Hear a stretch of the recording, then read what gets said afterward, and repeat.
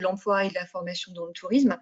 Euh, donc, euh, l'idée d'organiser ce webinaire euh, est partie d'un constat, c'est qu'avec la crise sanitaire que nous avons vécue, en fait, nous traversons, enfin, nous avons traversé, beaucoup de personnes ont quitté le secteur du tourisme et de l'hôtellerie.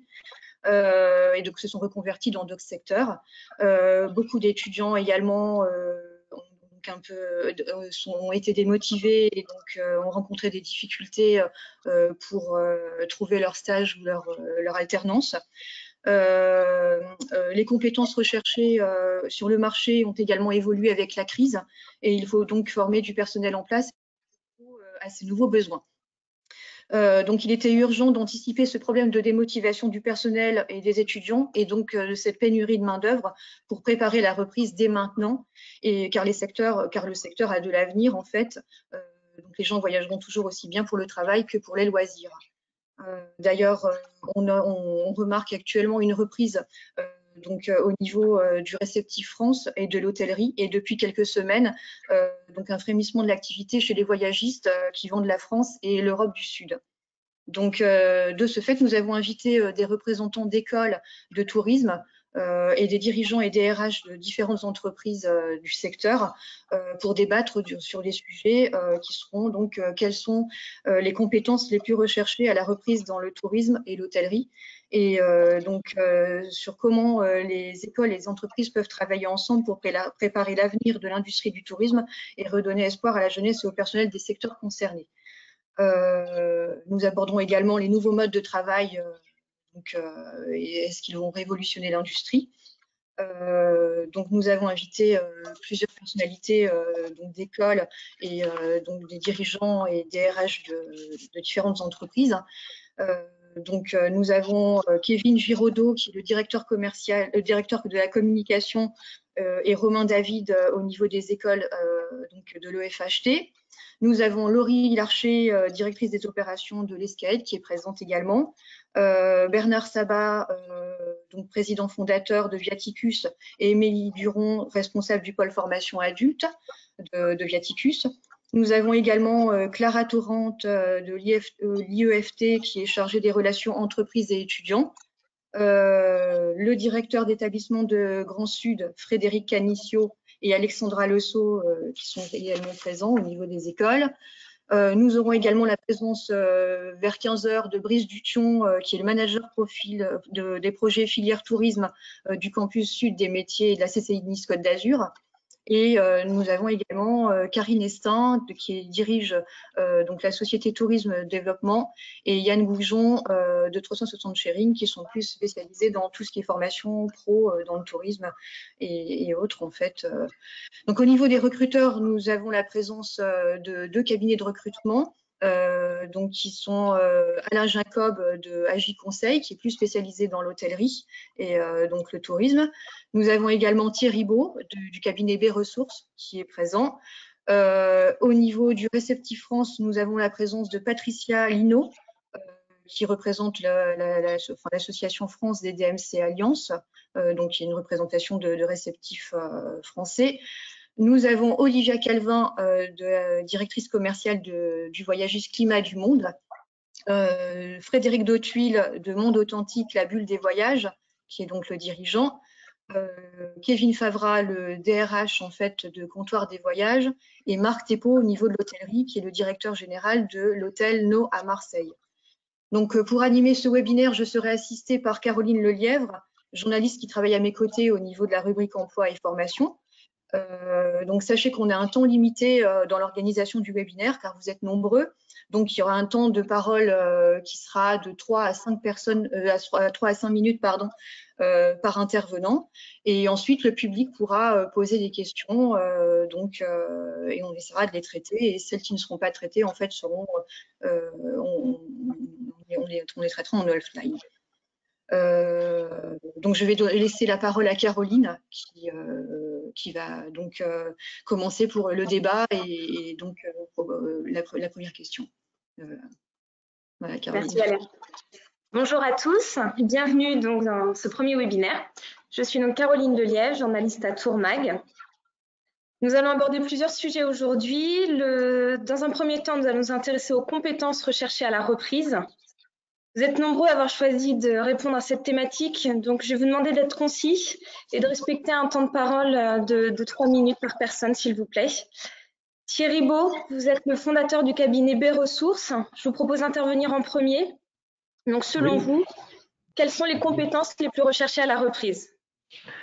Alors, bon, en période de crise, euh, quoi qu'il advienne, on a toujours une prédominance de besoins commerciaux. Donc, euh, le retour sur investissement d'un commercial est beaucoup plus palpable que pour un poste fonctionnel. Donc, ceux qui ont la fibre commerciale, je pense, ont toujours moyen de trouver un job. Après, euh, compte tenu de l'évolution du marché spécifique au tourisme, je pense qu'il y a de plus en plus de travail sur le profiling, le community management du client donc cette intimité client, cette notion vraiment de, proximité, de suivi de ses habitudes et de propositions ajustées à son mode de vie, à ses attentes, me paraît important. Il y a toujours de la demande et les compétences digitales qui vont derrière, bien évidemment. Donc si je dois répondre spontanément, c'est là-dessus. Après, sur le tourisme en particulier, je pense que le, tout ce qui est mass product, bon, Internet fait le boulot. Après, euh, s'il y a des experts de destination, si, parce qu'aujourd'hui, quand on est euh, conseiller agent de voyage, il faut être à la fois expert sanitaire, un peu conseiller matrimonial, parce que c'est souvent un couple qui choisit avec des fois des opinions différentes, avoir une connaissance et une expertise sur des destinations. Donc, il y a beaucoup de leviers qui font que, rapport au salaire, rapport aux compétences requises, ben, en période de crise, euh, il y a un exode qui a pu se produire. Ok, très bien, je vous remercie. Yann Goujon, euh, vous êtes euh, à la tête de 360 Sharing. Je vous laisse compléter pour avoir une vision globale, s'il vous plaît. On ne vous entend pas.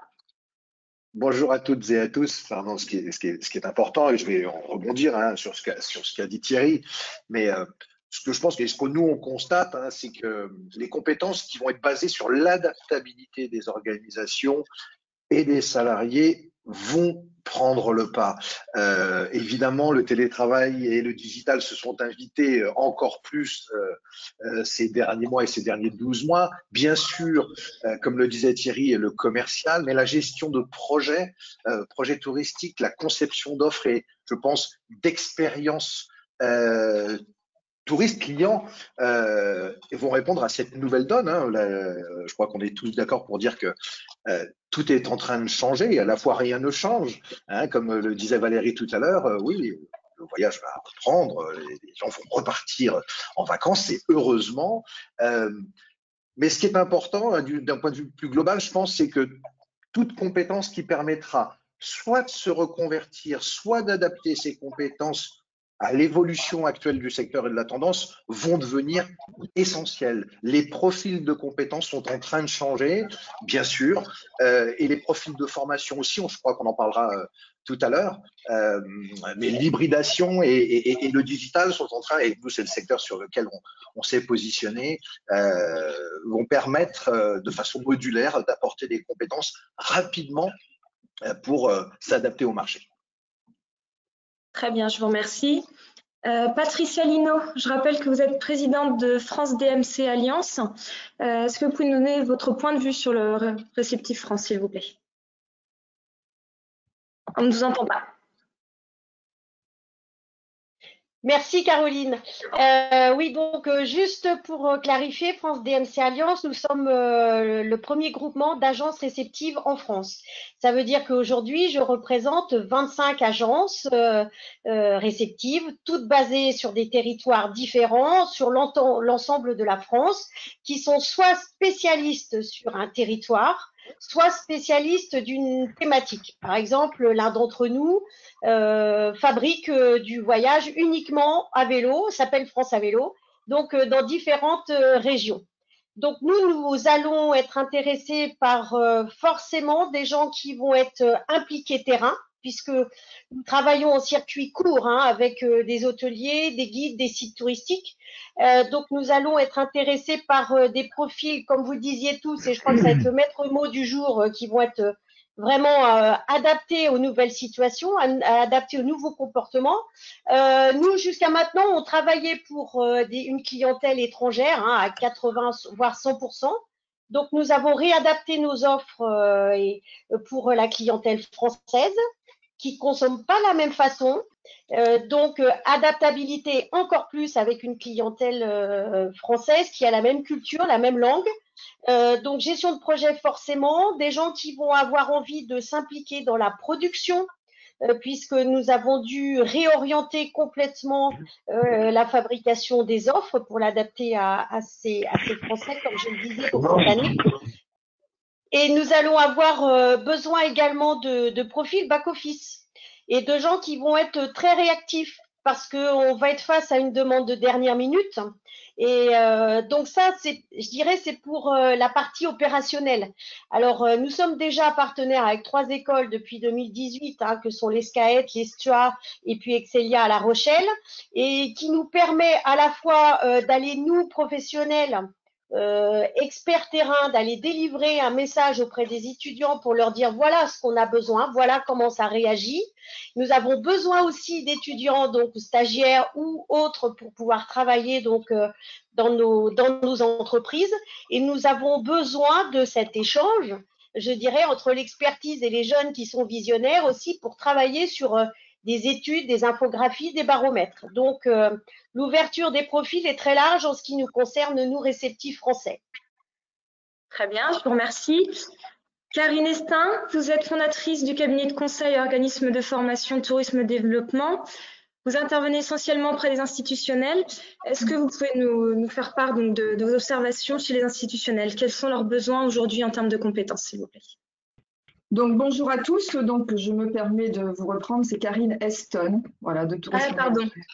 Karine Eston. Euh, donc en effet, je suis formatrice professionnelle, j'ai un diplôme de formatrice et mon cabinet a 21 ans aujourd'hui. Euh, je forme essentiellement euh, des acteurs institutionnels à 90%. Euh, parmi ces acteurs institutionnels, ça veut dire euh, des ADT, des CDT, des CRT, euh, des destinations touristiques, parce qu'aujourd'hui on parle de destinations touristiques, beaucoup d'offices de tourisme. mon domaine d'expertise depuis tout temps, c'est les techniques et les stratégies commerciales. Donc moi, ce sont mes deux plus grosses années de ma carrière professionnelle. Euh, voilà, donc je pense que j'ai déjà répondu. Technique et stratégie commerciale. Je m'étais noté qu'un directeur d'office de tourisme me dit les métiers ont évolué plus vite que les compétences. Euh, voilà, les métiers ont évolué plus vite que les compétences.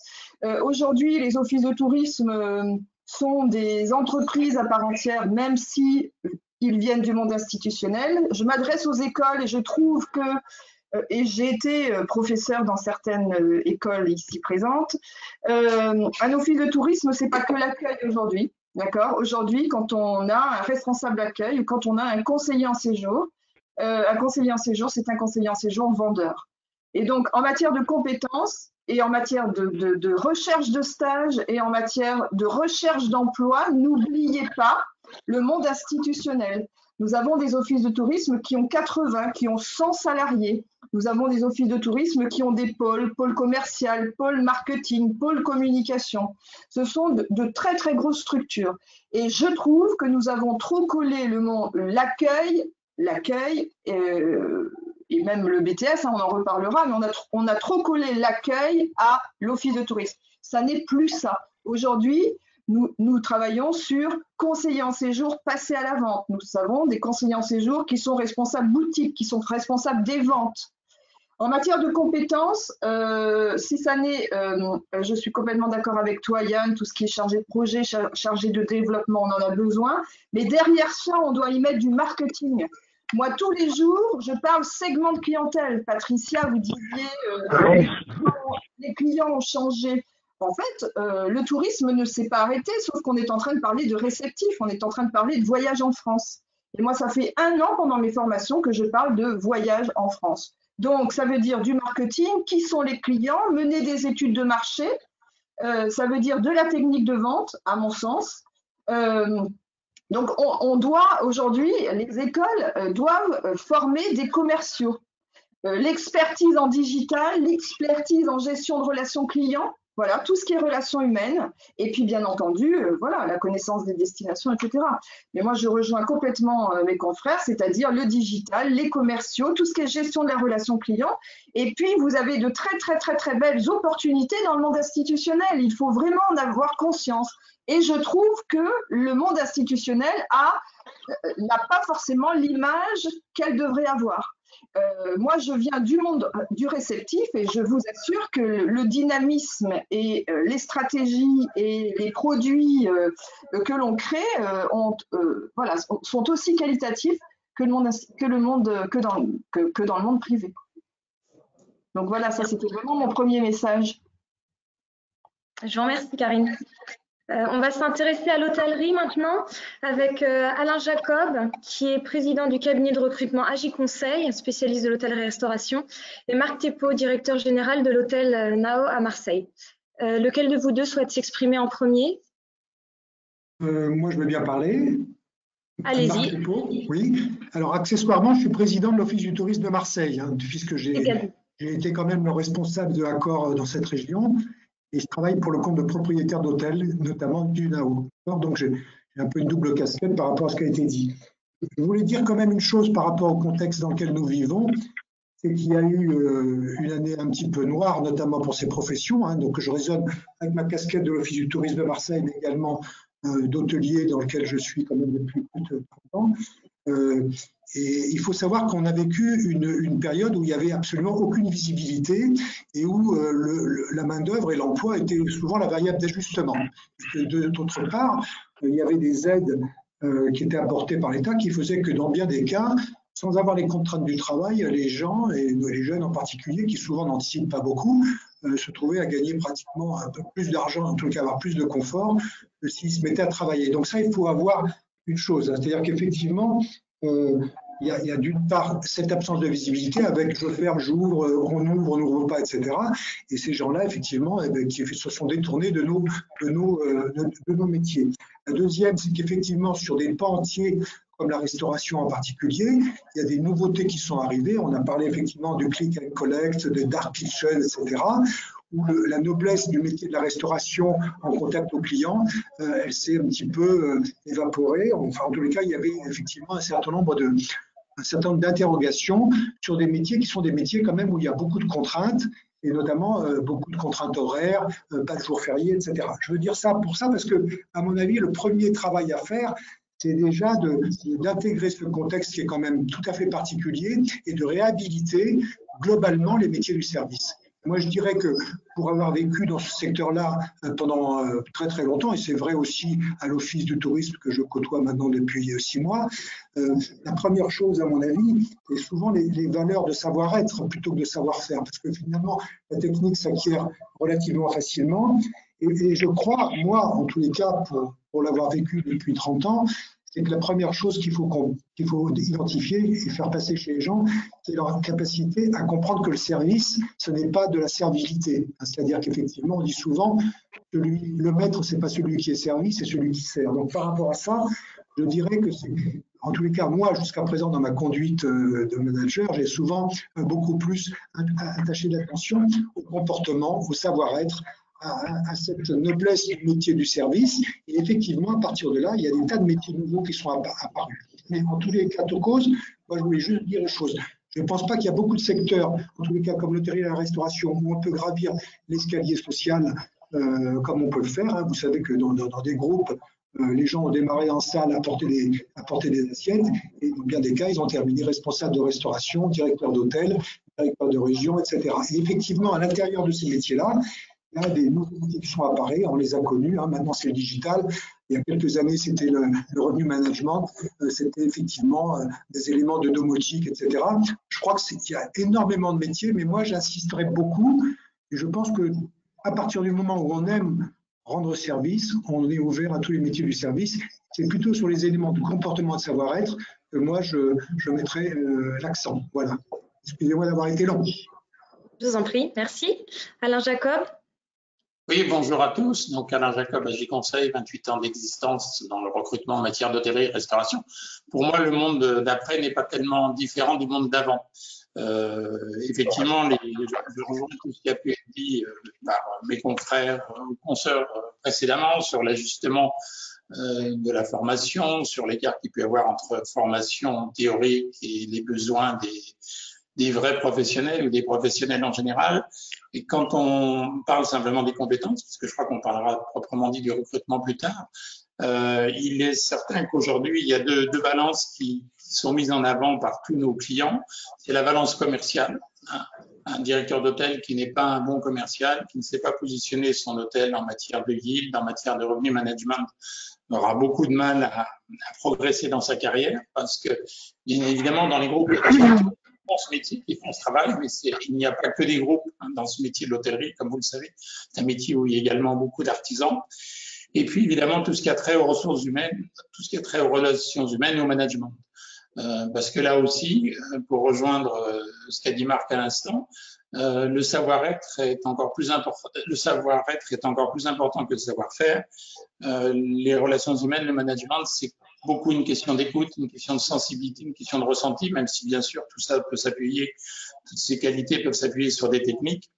Et on se rend compte qu'aujourd'hui, l'élément gestion qui était euh, très très demandé il y a quelques années, en disant je veux quelqu'un qui sache lire un budget, un compte d'exploitation, mais qu'avec tous les outils qui existent aujourd'hui en matière de gestion, avec les CRM, etc., c'est une, c'est une balance qui est de moins en moins demandée je dirais pas qu'elle est ignorée, bien évidemment pas, puisque évidemment un hôtel se doit d'être rentable et doit pouvoir avoir euh, pour ses investisseurs doit montrer un retour sur investissement, mais ce sont vraiment les valeurs, euh, les, balances commerciales et management qui sont les plus demandées euh, par, par nos clients pour le choix de leur candidat.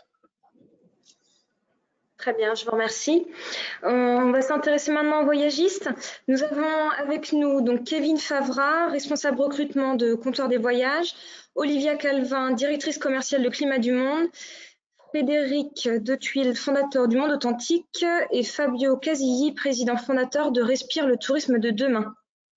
Euh, qui souhaite prendre la parole en premier pour faire à nouveau donc un point sur les compétences euh, recherchées? Olivia, est-ce que vous souhaitez commencer? Merci. Euh, oui, moi je, parlerai vraiment au nom des tours opérateurs et des agences de voyage, hein, clients, euh, et de, de, des compétences que nous allons rechercher. En premier lieu, il faut bien comprendre que bah, après un an de crise, euh, nous, tour opérateurs ou agences de voyage, on a été mis à l'arrêt ou euh, fermé. Euh, et la reprise pour nous est synonyme de nécessité de vendre, de revendre. Donc, les compétences les plus recherchées en prime abord vont être des compétences de commercial, de vendeur, qui rejoignent un peu ce, ce qui a pu être dit précédemment. Toutes les techniques de vente. évidemment, euh, mais ça paraît une évidence, mais ceci dit, j'en appelle quand même aux écoles euh, aujourd'hui euh, de tourisme les bases en termes d'informatique, parce que comme vous l'avez dit à juste titre, on travaille aujourd'hui en télétravail, mais nos propres clients sont aujourd'hui en distanciel, ils vont plus forcément se déplacer en agence de voyage, et donc il faut vraiment maîtriser tous les outils informatiques déjà de base pour pouvoir arriver à échanger. Et ensuite, évidemment, avoir des compétences digitales. Euh, Celles-là, bien sûr, elles sont recherchées pour pouvoir maintenir le contact avec nos prospects ou avec nos clients, pour pouvoir concrétiser nos, nos, devis euh, qui, seront envoyés euh, et maintenir le lien évidemment avec tout ce qui est newsletter et, et les réseaux sociaux. Enfin, l'après-voyage, en tout cas l'après-Covid, euh, on commence à le ressentir un peu euh, en, agence, c'est beaucoup de sur-mesure. Euh, par conséquent, ça veut dire des gens qui ont des compétences de spécialistes, des compétences approfondies au niveau des destinations pour pouvoir conseiller, évidemment, mais également de l'aérien, parce que quand on est voyage juste, on fait des forfaits. Donc, l'aérien est un gros élément. Euh, des compétences euh, également euh, au niveau du juridique, parce que on l'a vu après une année, encore, on le savait avant, mais encore plus aujourd'hui, il faut que les, agents de voyage de demain aient vraiment toutes les armes pour pouvoir gérer une, situation de, crise. et, donc, des, notions vraiment juridiques sont, sont, importantes. Donc, en premier lieu, voilà, je, dirais vraiment commercial, vente, et revaloriser. C'est très important qu'on revalorise cette image de, conseiller, euh, de conseiller agent de voyage, de conseiller vendeur. Là, j'en appelle vraiment plus aux agences, aux, écoles euh, de, tourisme. Euh, c'est très important de, de souvenir qu'aujourd'hui, on a beaucoup plus besoin de vendeurs, de conseillers, c'est la base, et quelqu'un qui fait du conseil sur mesure, euh, c'est quelqu'un qui fait de la prod. C'est une production ad hoc pour une personne dédiée. Euh, aujourd'hui, malheureusement, ces dernières années, on n'a quasiment que des gens qui veulent devenir chefs de prod. Euh, or, il faut quelques chefs de production, mais il faut surtout beaucoup de vendeurs. Et en termes d'évolution au sein d'un tour opérateur, tel que le nôtre par exemple, les gens ont souvent évolué en rentrant vendeurs et après, petit à petit, euh, ils sont passés justement à la, partie production. Euh, le, fait de court-circuiter et de s'imaginer qu'en sortant d'une école, on puisse directement rejoindre la prod, je pense que c'est, en tout cas, ça ne correspond pas aux, compétences qu'on recherche forcément en tant que, recruteur euh, voyagiste. Ce sera la, dernière question qu'on abordera justement sur la collaboration, enfin l'entente entre les écoles et les besoins des entreprises, en effet. Euh, Kevin Favra, responsable recrutement, comptoir des voyages, est-ce que vous voulez vous exprimer? On ne vous entend pas.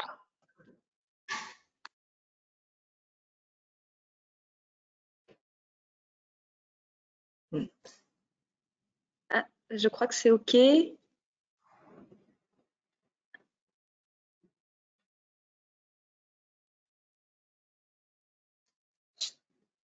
Kevin Favra. Vous avez un, petit logo avec un micro qui doit être vert pour que vous puissiez vous exprimer. Je vous laisse chercher un petit peu. Frédéric euh, Dautuil, fondateur du Monde Authentique, est-ce que vous voulez prendre la parole? Euh, Bonjour Caroline, bonjour à tous. Je ne vais pas être très original, je vais beaucoup reprendre ce que dit Olivia qui indiquait qu'elle parlait au nom des voyagistes et des agences de voyage. Je suis entièrement d'accord avec elle en tant que voyagiste.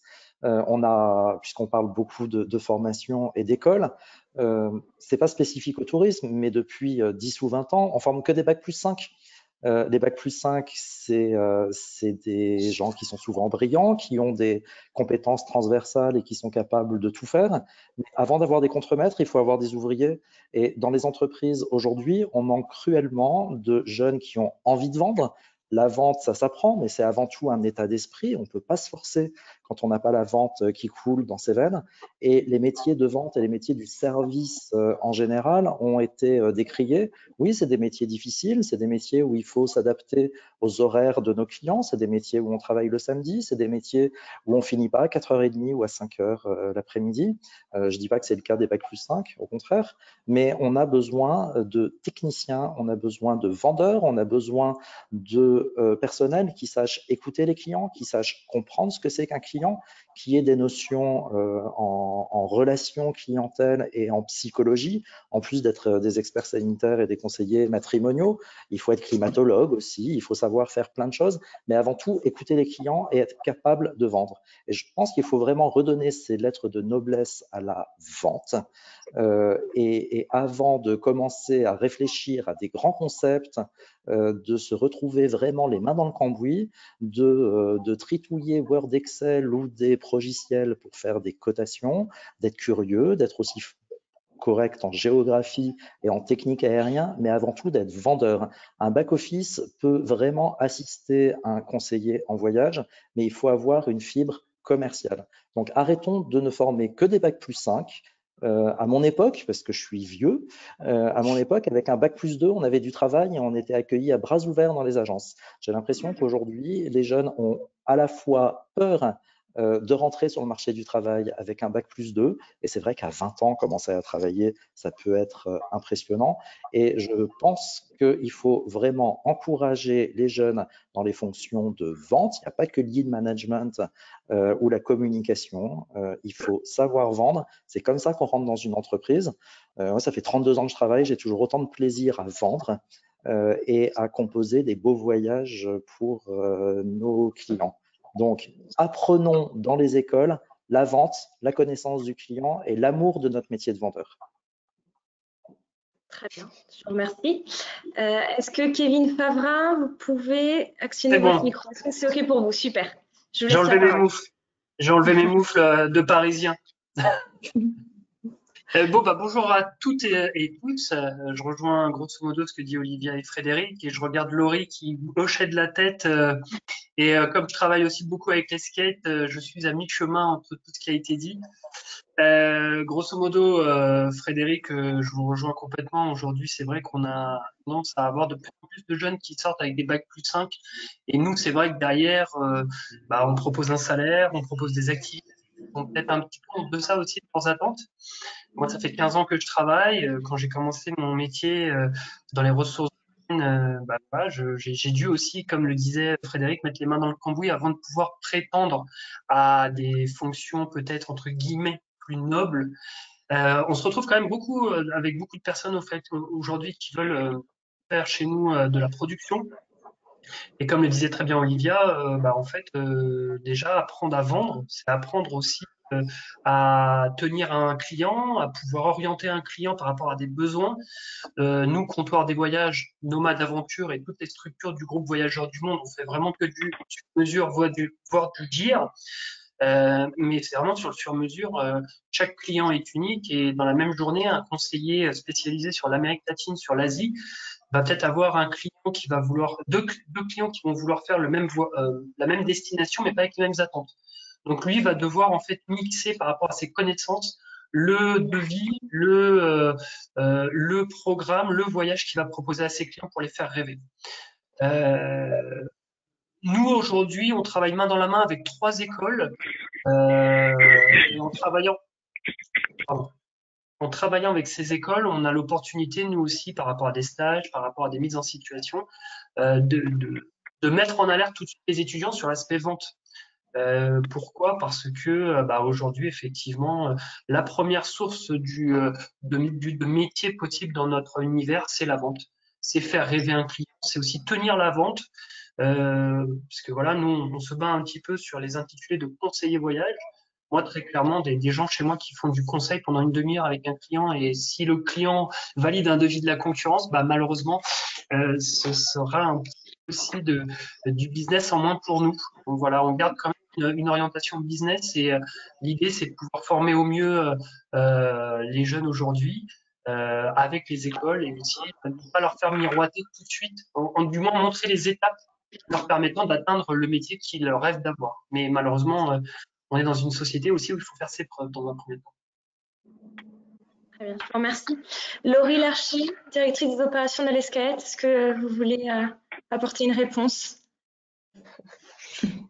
Bonjour à tous. Euh, oui, bah, je, me mettais des côtés des, écoles et je me dis c'est notre fête aujourd'hui, donc c'est bien, on nous fait passer plein de plein de messages.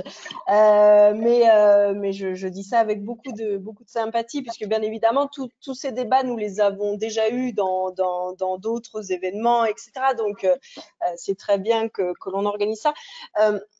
Si on a des étudiants qui nous écoutent euh, et qui, qui, sont là, en tout cas, pour, euh, pour essayer de voir les opportunités qu'il y a dans notre secteur et qui tentent eux aussi de, de comprendre en fait les compétences qui sont cherchées par les différents acteurs de l'industrie. Euh, moi, je peux que rejoindre les, les, les, professionnels qui sont là sur les, le top 3, c'est-à-dire euh, le commercial, le digital et la gestion de projet, avec notamment une notion d'agilité sur les différents outils.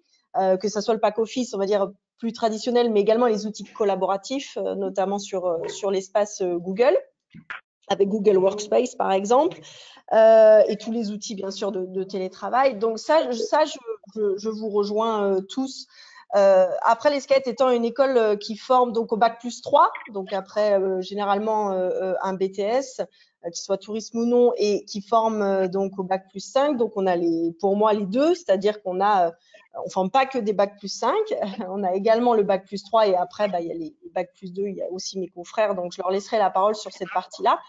Euh, mais, je, pense sincèrement que là, on fait face à une génération qui a envie d'aller sur euh, différentes. Enfin, le Covid, par contre, a changé beaucoup de choses chez, nos jeunes. Euh, et ils ont envie, en tout cas, d'aller, d'être multi-compétences. Ils ont envie de savoir vendre, ils ont envie de, savoir produire, ils ont envie de faire du digital, ils ont envie, en fait, d'avoir un portefeuille de compétences. Euh, vraiment, enfin là, c'est ce qu'on a observé cette année. C'était tellement dur pour eux que vraiment, ils sont ouverts à beaucoup de choses. Euh, donc, il faut leur faire confiance là-dessus. Mais par contre, ce qu'ils ont envie, et là où euh, notre mission, euh, aussi bien les professionnels que les écoles, c'est ils, souhaitent un, match, en fait, pas que sur les compétences et sur les missions, mais également sur la culture d'entreprise. Et je, je, trouve qu'il faut qu'on aborde aussi ce point-là parce que en ce moment, euh, ils, ont vraiment envie. je pense que l'industrie a besoin qu'on écoute eux aussi comment ils voient les choses, comment ils peuvent faire évoluer les choses. Je pense que c'est important que l'échange entre les générations se fasse et qu'on travaille davantage main dans la main plutôt que ce soit les professionnels ou les écoles qui disent ce qu'on recherche, qu'il faut, mais que ça soit vraiment en fait euh, une collaboration, entre les employeurs, les écoles et les étudiants, parce que eux aussi ont beaucoup de choses à dire. Voilà ce que je voulais dire en introduction. Je voudrais juste intervenir, mais 40 secondes, Caroline, pardon, on est très nombreux, mais si on a des étudiants qui nous écoutent, euh, moi je suis pour le bac plus 5. Donc, pardon, euh, Frédéric, mais je suis pour le bac plus 5. J'ai dans le monde institutionnel, dans le monde institutionnel, les offices de tourisme recrutent des bac plus 5. Quand on parle de chargé de projet, quand on parle de, voilà, euh, on recrute des bac plus 5. Moi-même, j'ai en ce moment une étudiante en stage. Pendant six mois, je ne recrute pas à moins de bac plus 5. Euh, on a des directeurs d'office de tourisme qui ont fait des VAE pour monter en compétences et aller jusqu'au bac plus 5. Donc, si on a des étudiants qui nous écoutent, euh, euh, je, la technique est extrêmement importante et je pense qu'aujourd'hui, les écoles de tourisme sont capables, ont les compétences pour former des techniciens, mais des techniciens, moi, je suis vraiment pour pour aller euh, sur des diplômes, voilà, Bac plus 5. Pour avoir échangé avec du directeur d'office de tourisme, on voit vraiment la différence entre un Bac plus 2, un Bac plus 3 ou un Bac plus 5. Voilà.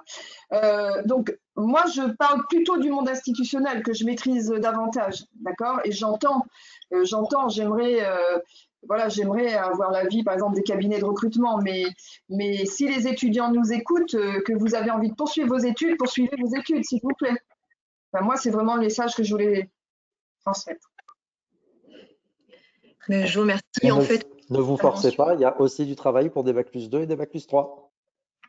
Il y en a à tous les niveaux, exactement. Et en fait, euh, en, enfin voilà, il y a Bac plus 2, en général, tu es sur, euh, sur, sur euh, le technicien. Le Bac plus 3, tu es sur responsable d'une activité. Et le Bac plus 5, tu es un junior manager, donc un management de projet ou d'équipe. Donc, en fait, en fonction de ce qu'ils ont envie de faire. il faut qu'ils aillent là où ils ont envie, chacun ses ambitions et chacun ses, ses, ses projets. Vraiment, c'est important de respecter ça.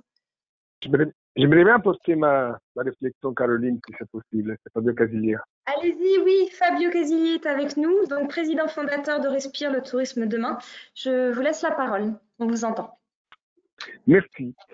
Alors, euh, Bien évidemment, euh, j'ai écouté avec attention tout ce qui a été dit euh, et, je ne peux que être d'accord avec euh, tous mes euh, confrères sur toutes les caractéristiques et toutes les, les, les compétences techniques qu'il faut avoir, mais j'aimerais bien amener la réflexion sur un plan un peu différent. C'est-à-dire que ces, comp ces compétences sont nécessaires après pour répartir, mais elles étaient nécessaires aussi avant pour pouvoir travailler sans besoin que la crise intervienne par là. La crise a malgré tout euh, changé la donne à plusieurs niveaux. Et euh, je suis de la vie, et je m'excuse si je vais frapper quelqu'un d'entre vous en disant ça, mais euh, imaginez répartir comme avant et se mettre le doigt dans l'œil. Ce n'est pas vouloir voir la réalité des choses. Euh, pour moi, aujourd'hui, quelqu'un qui est qui, euh, qui va arriver sur le marché du travail va avoir besoin évidemment des compétences techniques, mais ça c'est par défaut, parce que sinon c'est pas la peine. Mais euh, il faut savoir, à mon avis, sortir du cadre. Il faut savoir euh, être empathique envers les écouter, entendre, On vous entend plus. Dans, le tourisme, on, a toujours euh, travaillé des, dernières années dans le tourisme industriel. Euh, on avait une offre et on avait proposé aux clients sur le marché. Et rares sont les cas qui ont fait la démarche. C'est haché, on ne vous entend plus? c'est trop haché, on c'est pas audible pour le moment. Allez-y. Là, vous m'entendez ou pas? Là, on vous entend. Allez-y, s'il vous plaît. Voilà. Euh, là, de, de certaines compétences euh, techniques, il faut aussi des compétences euh, humaines. Parce que répartir comme avant la crise, euh, c'est pas possible. Pour moi, c'est c'est fourvoyer de dire qu'on peut répartir exactement pareil.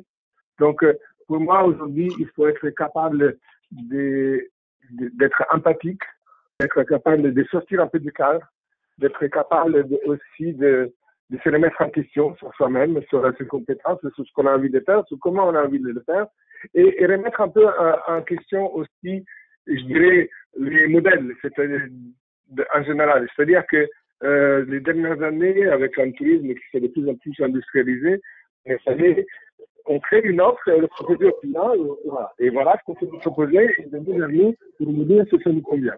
Euh, je généralise beaucoup à quelques exceptions près, mais c'est un peu ça.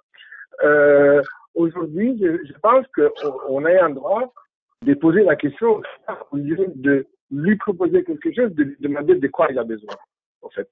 Et donc, je, je pense que au-delà de toutes les compétences techniques qui sont nécessaires par défaut, euh, il faut aussi des compétences autres, des, des, humaines qui, qui, euh, qui, auxquelles on ne peut pas échapper.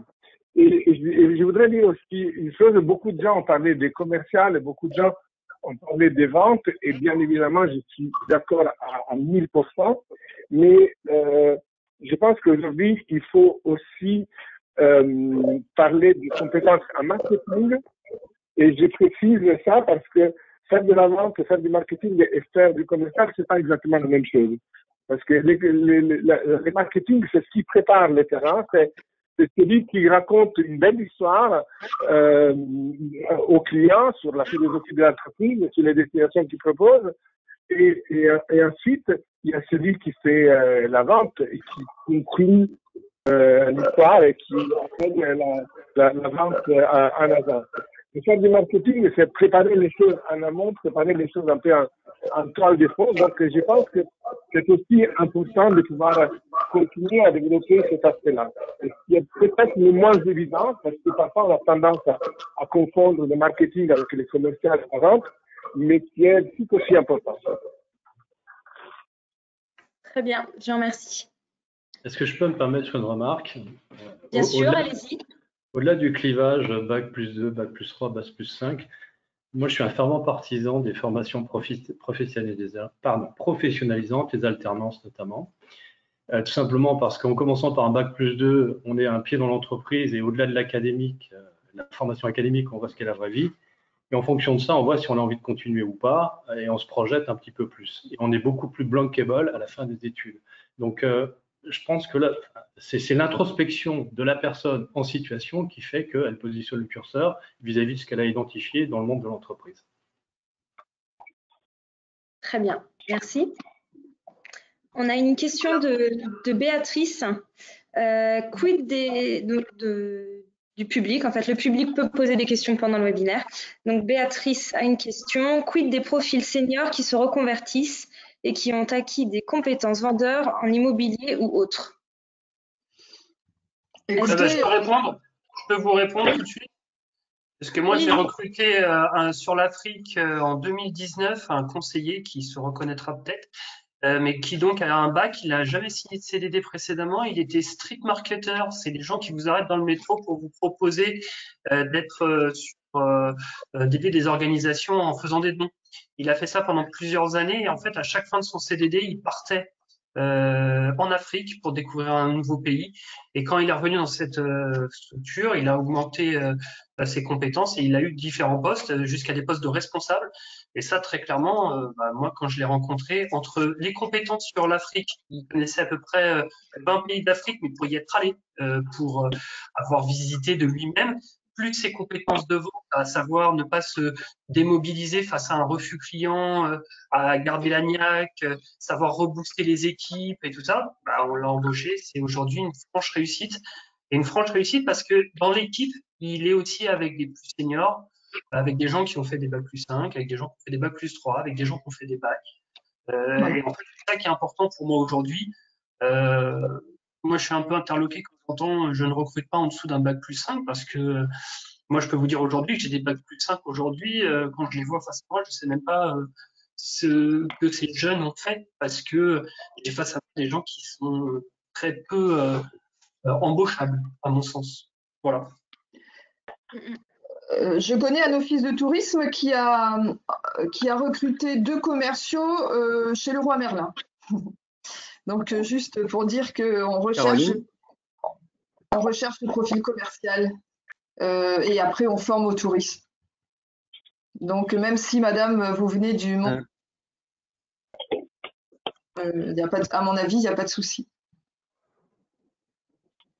Caroline, je voudrais intervenir, Bernard Sabavietti. Oui, allez-y, Bernard, je vous en prie. Nous, ce qu'on a remarqué, euh, on est jeune, hein, ça fait tout juste deux ans, c'est notre troisième rentrée scolaire que nous faisons. Nous, nous avons pris un, parti pris par l'expertise que j'ai dans, le tourisme, d'avoir déjà euh, pris des, personnes qui sont déjà, qui ont été dans le monde ou du tourisme ou, pas du tourisme, mais qui ont une expertise et une expérience et à qui il manque des éléments comme le digital, euh, comme des nouveaux modes de commercialisation et sur lesquels nous, nous mettons une, on accentue aujourd'hui notre formation euh, justement pour adapter sur mesure ces spécificités-là. Donc, on ne fait pas de, de, programme, des blocs de compétences uniquement. On prend le bachelor, euh, évidemment, qui est le référentiel de base, mais on l'adapte sur mesure aux besoins des gens qu'on va recruter. Ce qu'on remarque là avec les licenciements consécutifs des Glasures, d'XL Airways, de TUI, de Thomas Cook, il y a des recrues très intéressantes dans ces profils-là, de personnes qui, ont, qui, pendant 15 ans, 20 ans, ont travaillé avec un BTS, avec une typologie de, formation, euh, de vente, de techniques, qui sont parfois un petit peu désuets, mais pour autant avec euh, une vraie valeur ajoutée. Et justement, dans le cadre de notre formation, nous, on a misé sur cette démarche-là. Et c'est pour ça que je, rejoins assez ce qui a été dit. Euh, on ne peut pas dire qu'il y a des bacs plus 5 ou il y a des bacs plus 3. La seule chose que je peux vous dire, nous, ce qu'on a choisi, nous, en termes de stratégie, c'est qu'on ne fera pas de BTS. Ça, c'est clair. D'accord? Je pense que nous, on a besoin, dans notre formation telle qu'on l'a mis en place, c'est vraiment travailler sur des bacs plus 3 et de voir l'atypisme de ces gens-là, de les, recruter, de faire un pré-recrutement sur lequel on est très ferme sur le, côté quali des personnes et on fait du prosélytisme pour le tourisme. Alors, s'ils viennent du tourisme en, en ayant fait un BTS de tourisme et qu'ils ont une, une appétence dans différents domaines on tient compte de la personnalité, ce qui est important par rapport au marché. Mais s'il ne vient pas du tourisme, tant mieux, parce qu'on a 20% d'acteurs qui viennent du tourisme et 80% qui viennent en dehors du tourisme, qui viennent de la vente, euh, qui viennent de la communication, du luxe, et on les, amène à travailler dans le tourisme. Nous, c'est la stratégie qu'on a choisie parce que c'est ce que nous demandent tout simplement les professionnels du tourisme aujourd'hui. Ils veulent des vendeurs, et vous l'avez tous dit, euh, différemment, mais vous l'avez dit euh, chacun à votre façon. Aujourd'hui, ils veulent des vendeurs, ils veulent des analystes, ils veulent des gens qui écoutent, ils veulent des gens qui euh, comprennent euh, et qui ne soient pas des preneurs d'ordre. C'est des métiers qui ont évolué. Moi, je l'ai fait il y a 30 ans, ce métier-là. Euh, évidemment, c'est facile de faire une vente avec le Club Med en prenant notre papier et notre stylo et choisir juste le, village en, question. Tout est en train de changer. On est dans le surmesuriste. Olivia Calvin l'a évoqué. je pense que c'est ça qui est en train de changer et c'est nous, en tant qu'organisme de formation, qui devons nous adapter aux besoins du marché que vous représentez. C'est pour ça que vous êtes autour de, ce webinaire. Et je pense que ça, c'est important qu'on tienne compte de vos besoins. C'est ce que nous faisons, nous. Euh, on peut parler de marque blanche au niveau du tourisme. Aujourd'hui, on a des, partenaires qui nous briefent sur leurs besoins et on choisit parmi 100 euh, ou 120 élèves, on va sélectionner des candidats que l'on va voir et on va essayer de proposer des, des, prélistes à ces, à ces partenaires de voyage pour qu'ils choisissent le mieux possible parce que c'est eux qui ont le final cut à la finalité. Voilà ce que nous, nous préconisons en ce qui nous concerne pour rester dans le marché, d'être des vendeurs, des conseillers, euh, des couteaux suisses tout simplement adaptés aux besoins du marché. Bien. Je vous remercie, Bernard Sabat. Effectivement, si je peux me permettre, excusez-moi Caroline, euh, tout ce que vous avez, vous avez dit jusqu'à maintenant, et pour effectivement pour compléter également ce, ce, qu'a dit Bernard, euh, on est face à un, souci d'équilibre en fait euh, au, final, puisqu'on est face à deux choses. On a euh, aujourd'hui, parce que c'est assez, assez drôle entre guillemets, lorsque je vous entends parler de, la nécessité de, mettre du digital, puisque nous, depuis 2011, il y a déjà du, du, digital dans nos programmes. Et je pense que justement, on a été victime un petit peu de cette digitalisation. En tant que centre de formation, on a voulu absolument se mettre sur tout ce qui est nouvelles technologies, sur la production, en, se disant que le commercial était déjà euh, en place avec les professionnels justement qui eux savent très bien le faire, mais qui avaient ce manque justement en, tout ce qui était le domaine de, digital. Donc, euh, on se retrouve face à un problème d'équilibre au final, c'est-à-dire que là, ben, on a enlevé les, euh, des professionnels qui savent vendre, mais qui ont ce petit souci de digital, et des étudiants qui, eux, sont allés à fond sur le digital, mais ont perdu justement cette appétence et ces, différentes euh, fonctionnalités que requiert normalement un, bon commercial. Donc, nous aussi, en, tant que sorte de, de, formation, on doit essayer de retrouver cet équilibre. Donc, ça passe avec évidemment pas mal de choses. Donc, il y a notre programme, par exemple, on a parlé aussi bien de Bac plus 5, donc sur des postes plus stratégiques, évidemment à tout ce qui est bac plus 3, donc plus en avant. Donc nous, c'est ce ce sur quoi nous avons tendu, mais déjà depuis, euh, l'année dernière, nous travaillons euh, sur notre programme en troisième année que nous avons refait en chargé de développement d'activités touristiques où oui, on va concevoir un produit. Pour concevoir un produit, il faut aussi marketer en amont. Une fois qu'on a fait un produit, encore, faut-il savoir le vendre. C'est ce sur quoi aussi nous avons, nous avons tendu. Donc, euh, je, suis content aussi de, ce côté-là d'entendre tous les professionnels qui, demandent ces, ces compétences. Euh, mais aussi, on a un devoir en tant que centre de formation de penser aux professionnels du tourisme actuellement qui ont ce fameux déficit qu'on peut rencontrer, comme on a parlé aussi tout à l'heure, en termes de digital. Donc, comme je l'ai dit, c'est une question d'équilibre. Donc, nous, on a aussi une formation euh, qui est à destination exclusivement des, professionnels du tourisme. D'ailleurs, euh, Fabio Gazzini en, est le parrain et on le remercie encore de l'être où justement on va proposer aux, personnes qui euh, ont un chômage partiel, etc., en tout cas des professionnels du tourisme d'aujourd'hui, leur proposer aussi de compléter avec leur savoir-faire ce qu'ils avaient déjà en termes de, commercial et de vente, de leur apporter aussi ce côté digital. Ce que n'oublions pas, c'est que là, effectivement, tout ça, ça a été exacerbé avec euh, euh, la crise sanitaire, mais n'oublions pas que, par exemple, le, label de, Smart Tourism, où on va vous demander sur certaines villes avoir effectivement euh, euh, le côté innovation, le côté euh, digital, mais aussi le côté éco-responsable, le côté aussi bah, mise en avant du, patrimoine. Donc tout ça, ça existe déjà depuis quelques années, mais effectivement, été précipité avec la crise que nous avons connue. Donc c'est vraiment une question d'équilibre qu'on doit trouver évidemment avec nos étudiants. Hein. c'est ce que de toute façon, tous nos confrères, tous, tous nos confrères qui sont présents aujourd'hui, c'est déjà ce qu'on fait, mais c'est une question d'équilibre le FHT, on est aussi là, on apporte des solutions évidemment à des étudiants à qui on, amène aussi des compétences beaucoup plus commerciales, puisque comme vous l'avez dit, il faut qu'on leur apprenne vendre parce que parfois dans leur inconscient, ils se disent ah, ben, moi je vais monter ma startup sur Internet, j'aurais pas pas besoin de savoir de vendre. Mais si on va sur des startups euh, qui sont un petit peu maintenant, qui ont un petit peu d'expérience, comme Staycation, ok, ils sont full sur Internet, mais il ne faut pas oublier qu'il faut aller négocier quand même avec des gens. Donc, il faut savoir aussi vendre staycation et négocier, avoir ce, pouvoir-là. Donc, on est aussi là pour apporter un équilibre aussi bien à nos étudiants, comme on sait le faire déjà depuis, depuis plusieurs années. Pour le FHT, nous, ça fait 45 ans qu'on le fait, mais aussi d'apporter aux personnes actuellement qui sont en poste ou qui ne le sont plus, de leur apporter les compétences qui leur manquent pour trouver ce fameux équilibre dont, je vous parlais de, juste avant. Et si je peux me permettre aussi une, petite chose, euh, je reviens à tout ce qui est recrutement et je rejoins Laurie sur ce qu'elle disait tout à l'heure sur le fait qu'effectivement les entreprises euh, et les, centres de formation doivent absolument communiquer, bien faire part de leurs besoins et de, ce qu'elles sont capables de s'apporter les unes aux autres. Parce qu'effectivement, nous, pour former du bac plus 2 jusqu'au bac plus 5, on se rend compte un petit peu de la difficulté bah, de devoir placer un BTS ou un bachelor 3 ou euh, un bac plus 5. Et cette difficulté aussi, elle est, liée à l'entreprise et malheureusement aussi parfois au, planning de formation.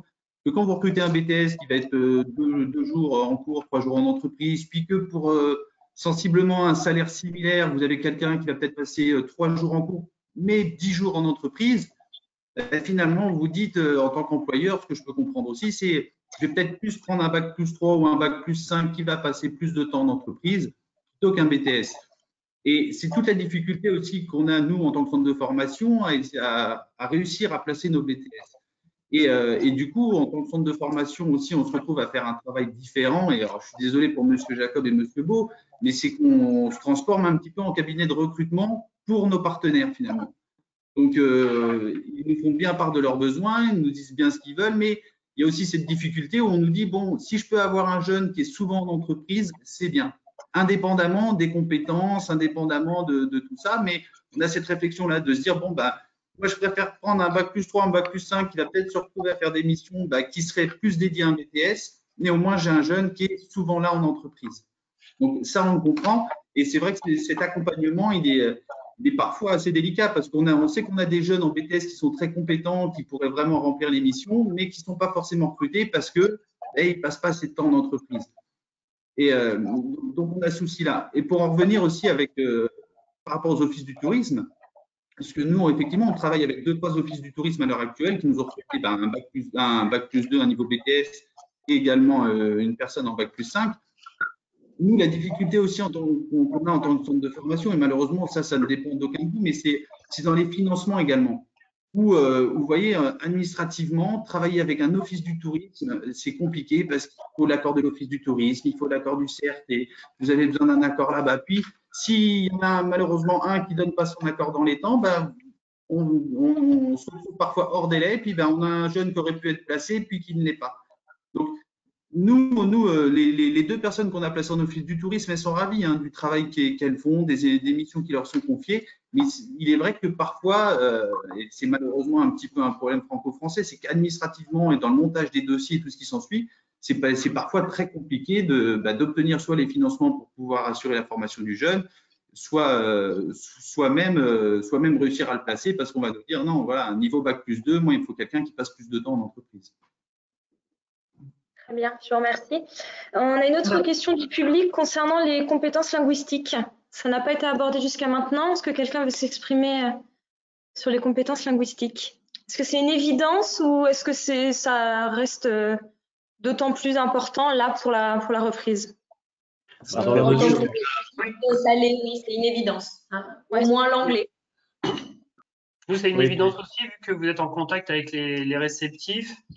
Et, l'anglais est essentiel, que si un collègue euh, reprend votre dossier mais qu'il ne parle pas, euh, par exemple un, collègue qui travaille sur l'Asie et qui reprend un dossier d'Amérique latine pour euh, traiter une, pendant une astreinte à un problématique client, il faut connaître, il faut échanger en anglais sur le dossier pour que une langue commune soit, soit utilisable.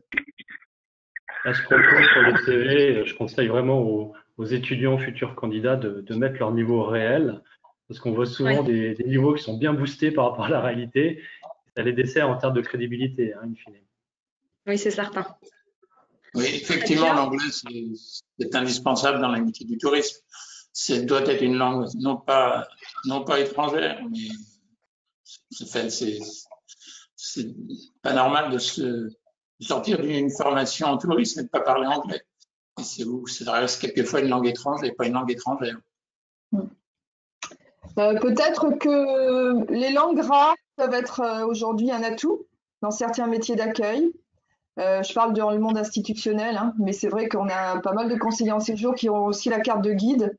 Et quand on a un guide qui parle russe, qui parle japonais, qui parle voilà, donc c'est aussi un avantage. Mais enfin, moi, je ne veux pas parler à la place du monde institutionnel, mais en tous les cas, quand on fait de l'accueil, moi, je rejoins tout à fait ce que vous dites, hein, tous. C'est-à-dire quand on fait de l'accueil, euh, euh, on parle au minimum l'anglais. Au minimum. On est plutôt euh, sur des profils bilingues, trilingues, hein, sur, certains profils, bien sûr. Très bien, merci Karine. Valérie, on avait une autre question du public, je crois. Euh, oui, concernant le tourisme d'affaires, en fait, euh, donc la personne vient du tourisme d'affaires, elle a été licenciée, en fait, et elle veut savoir euh, si elle peut retrouver un emploi dans ce domaine très prochainement. Donc, je ne sais pas si des personnes. Alors, je vais, encore prendre la parole, mais je suis désolée. En fait, j'ai Oriana qui doit être là, qui doit être présente, qui doit écouter. Oriana est étudiante en Master 2 et elle mène un dossier d'études sur les nouvelles facettes du tourisme d'affaires. Euh, donc, si vous voulez, euh, bah, ce que je peux dire à cette personne-là, c'est éventuellement prendre contact, de la mettre en relation.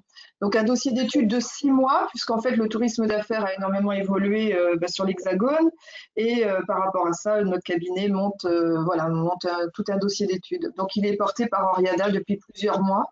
Et donc, je proposerai peut-être à cette personne de garder contact avec Valérie ou avec Caroline ou avec moi, un tourisme développement, et puis je vous mettrai en relation avec Oriana. D'accord. Et si je peux me permettre hein, de rebondir euh, sur ce que vient de dire Karine.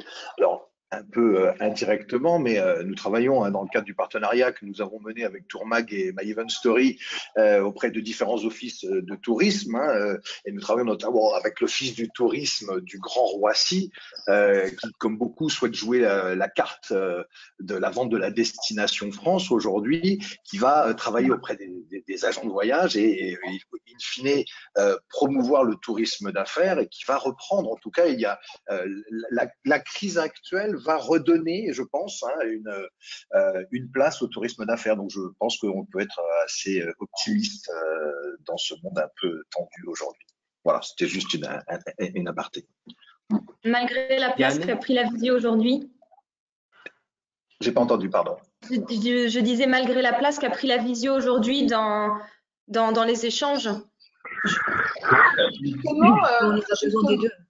Oui, Oriana, Oriana me faisait déjà un retour et m'expliquait qu'il y avait des, prestations qui étaient achetées ou en étant euh, mi-visio, euh, mi euh, et puis le tourisme d'affaires, c'est à la fois du congrès et des etc.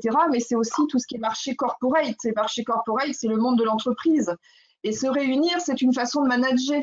Donc forcément que dans ce contexte de reprise, euh, de, reprise d'activité, euh, un manager a besoin de manager. Et donc, pour manager, il réunit ses équipes. Donc, on a beaucoup dans les premiers indicateurs, on a beaucoup de réunions, mais en petit nombre, c'est-à-dire 6, 8, 10 personnes. Euh, on a même on a des, gîtes, par exemple, qui sont privatisés. On a des, des, euh, des, salles qui sont privatisées où on compte un nombre, euh, comment dire, des mètres carrés supplémentaires par participant, etc., etc. Et puis il y a toute la partie team building qui est très très tendance aussi.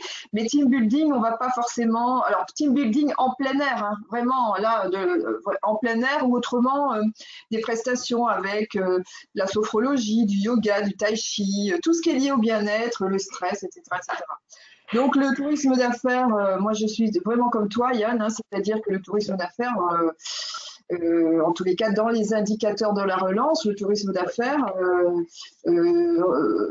moi je vois, je vois voilà, un, un, beau développement, même si pour l'instant nous sommes sur des petits curseurs en fait.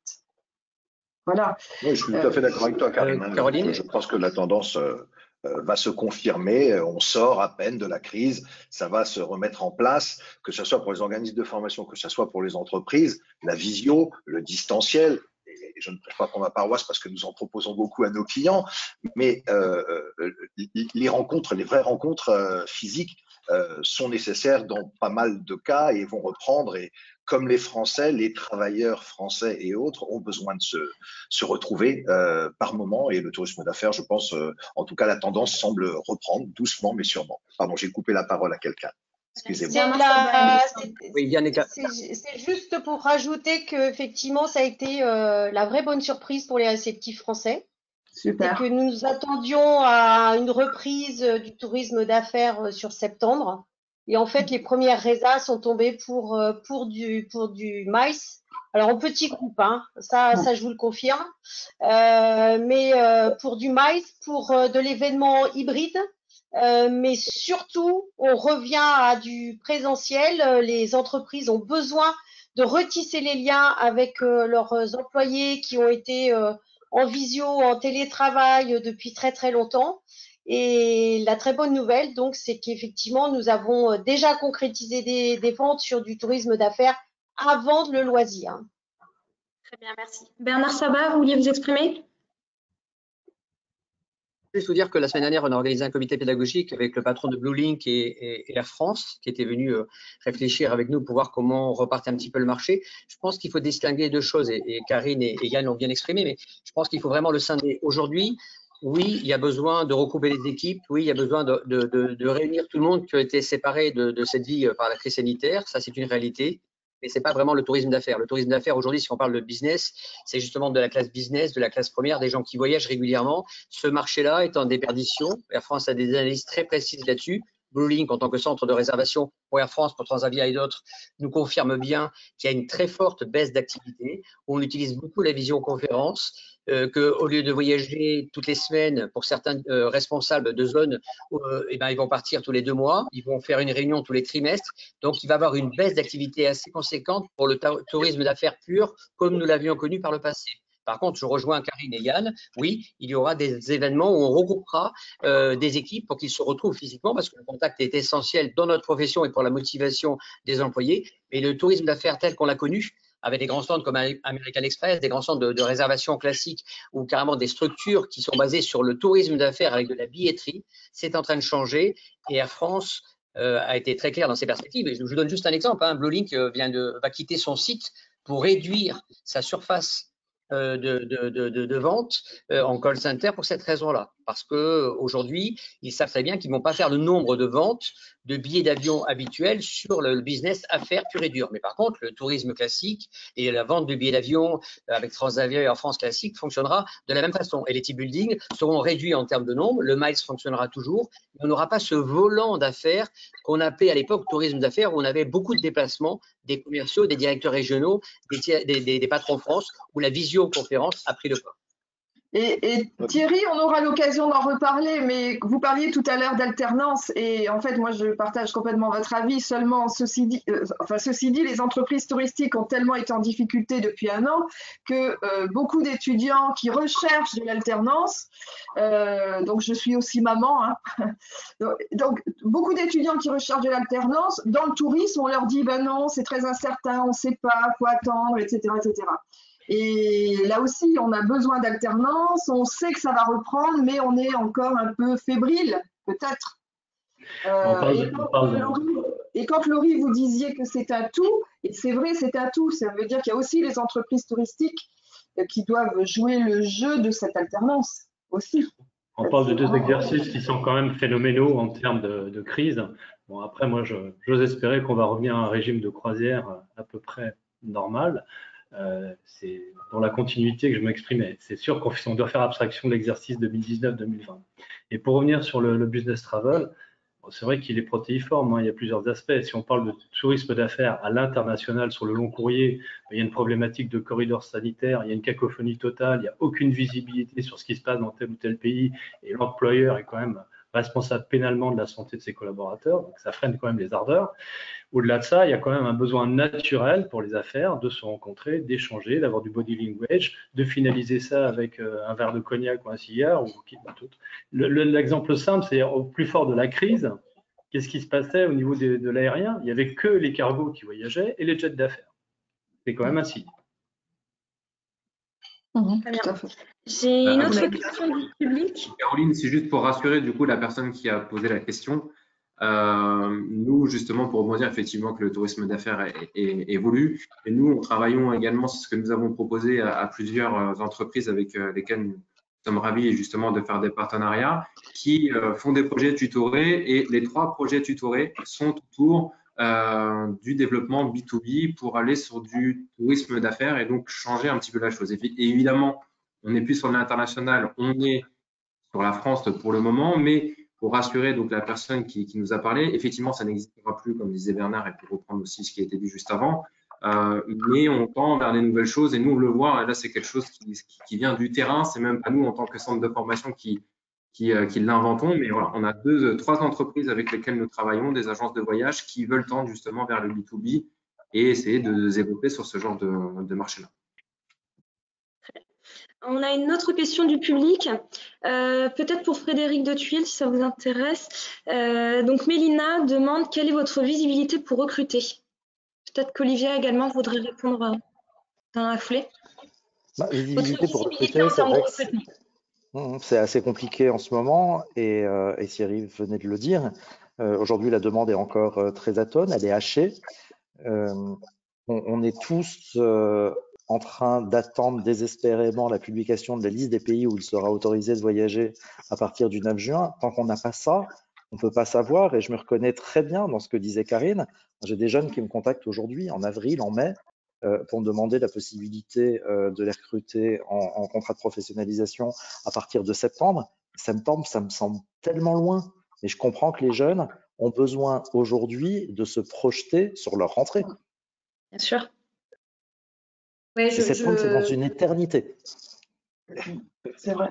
La problématique de notre, euh, de notre secteur au niveau de la formation, c'est d'être entre guillemets euh, assujettis un petit peu aux, rentrées scolaires qui ne, qui ne correspondent absolument pas au, secteur d'activité. Euh, c'est la problématique qu'on a. Bon, évidemment, sur des formations un petit peu, un, petit peu supérieures comme nous, le bachelor ou le MBA, euh, donc le 5, bac plus 5, on peut s'adapter et, proposer donc des, agendas qui peuvent correspondre aux professionnels du tourisme. Euh, mais c'est la problématique qu'on a, hein, c'est qu'effectivement, euh, la rentrée scolaire de septembre, euh, pour vous, ça n'a strictement rien à voir pour un professionnel du tourisme où on, est un petit peu soit trop, beaucoup trop tôt, soit beaucoup trop tard. Donc, c'est la problématique qu'on a avec, cette rentrée-là, effectivement. Hmm. Après, même si on a beaucoup de mal à avoir des chiffres, on estime quand même que le secteur, alors je parle du secteur agence de voyage et voyagistes, a détruit entre 30 et 50% des emplois depuis 18 mois. Euh, encore une fois, on n'a pas de statistiques des adhérents des EDV, par exemple, mais on le voit quand on regarde un petit peu les publications à gauche et à droite. Je ne fais pas exception. Mon entreprise a détruit 60% de ses emplois avec euh, essentiellement des départs choisis des collaborateurs. Il y a eu trois départs euh, subis, mais partout, il y a eu de fortes destructions d'emplois. il y a des, des plans sociaux qui ont été euh, sur lesquels les employeurs ont communiqué, ce soit euh, Evaneos, euh, il y en a qui l'ont fait plus plus discrètement puisqu'ils n'ont pas eu l'envie de communiquer là-dessus et je le respecte tout à fait. C'était une décision de bon sens et je, je refuse le terme, je récuse le terme de, de variable d'ajustement qui a été employé par l'un des intervenants tout à l'heure. C'est pas de gaieté de cœur de licencier des salariés quand on les a euh, recrutés, quand on a choisi de leur proposer un job, quand on les a formés, quand on les a accompagnés pendant des années. Euh, c'est vraiment pas agréable de laisser partir un, collaborateur confirmé et qui nous dit voilà, j'en vois pas le bout. Euh, on est tous victimes dans cette affaire. J'en ne vois pas le bout parce que je ne sais pas quand je vais pouvoir travailler normalement. Ça fait un an que je suis au chômage technique à 100% ou au chômage partiel à 80%. J'en ai marre, je veux faire autre chose, je veux me reconvertir, je préfère partir. Euh, je le comprends euh, complètement. La, reprise qui se fait par à parce qu'on a vu quand de petites fenêtres se sont ouvertes en juin-juillet euh, 2020 et à nouveau en décembre 2020, quand de petites fenêtres s'ouvrent, la demande revient dans les agences et par conséquent chez les voyagistes. Et à ce moment-là, on a besoin de compétences. Donc, euh, il, y a, il y aura vraiment dans les semaines ou dans les mois à venir, et on voit le retour euh, d'offres d'emploi, Valérie ne me contredira pas, euh, on voit le retour d'offres d'emploi et il va avoir à nouveau des postes à pourvoir dans les prochaines semaines ou dans les prochains mois, à la fois pour les jeunes diplômés, mais aussi pour, euh, pour les salariés qui ont été licenciés euh, et qui pourront ainsi retourner sur l'emploi. Pour notre part, euh, on regarde beaucoup sur. maintenant, malheureusement, on est obligé, en étant spécialiste de long courrier, de regarder sur 2022. mais pour que les gens commencent à partir en 2022, il faut que la production soit faite avant et que vous ayez vendu avant.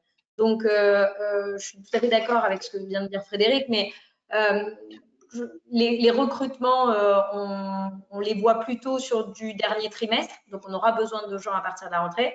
Pour revenir aux alternants, on n'en a peut-être pas encore beaucoup parlé, mais je suis en tant que recruteur vraiment très favorable à l'alternance.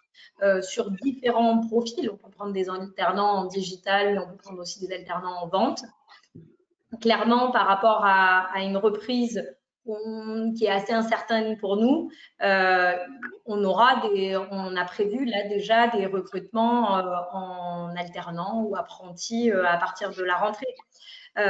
pour notre part, on a maintenu, nous avons des alternants et des apprentis aujourd'hui toujours en entreprise, mais parce que on a aussi maintenu du présentiel. Malheureusement, pour d'autres confrères qui étaient quasiment tous euh, en, distanciel et en télétravail, c'est vrai que c'est pas qu'on n'a pas voulu prendre des alternants et des apprentissages. Mais pour ma part, il me semble très compliqué quand même de former quelqu'un et d'avoir un apprenti tout au long de l'année sans qu'il soit à côté de vous pour entendre et capter euh, tout ça. Donc, euh, on était malheureusement contraints avec ces mesures de distanciel et de télétravail imposées de refuser euh, certains euh, de, l'alternance. Donc, ce n'était pas volontaire. Et, en rebondissant sur ce que vous venez de dire de, tous les deux, pardon Karine, excuse-moi. Euh, si on prend un peu de hauteur, et je suis désolé d'être l'oiseau de mauvais augure, mais je me rappelle d'une table ronde d'il y a trois ans au Ditex, où on a, au Ditex, pardon, où on avait évoqué la situation du recrutement, de la difficulté de recruter, du peu d'attrait que le secteur avait. Et cette situation, elle est structurelle. Là, on a un problème conjoncturel lié à la crise sanitaire. Je pense qu'il faut vraiment se poser beaucoup plus de questions. Bien sûr, il y a l'intégration des jeunes diplômés qui est très, très importante. Et c'est pour ça aujourd'hui qu'on se voit, mais je pense que ce sera l'objet euh, d'autres euh, tables rondes et d'autres webinars. Mais on a aujourd'hui plusieurs populations en danger. Les nouveaux entrants et ceux qui sont encore, qui ont survécu à cette crise, avec des modes de consommation qui changent, un métier qui change. Il va falloir pour nous qui faisons de la formation, de la formation continue, de la formation initiale, euh, vraiment être hyper réactif. Et euh, je sais que c'était un sujet, mais je ne sais pas si on aura le temps de le traiter aujourd'hui, hein, sur la modularité euh, des formations pour pouvoir rapidement euh, proposer des compétences qui vont adapter euh, les, les, les, salariés de demain et les salariés d'aujourd'hui au marché. Et, et, et, on a vraiment, je pense, hein, dans, dans, dans, notre secteur, une vraie réflexion de fond à, à mener, mais c'est peut-être pas le moment d'évoquer de, ce sujet. Puisque nous avons des étudiants, peut-être l'entendre. Ah, euh, si, vous m'entendez là? Allez-y, ça fonctionne.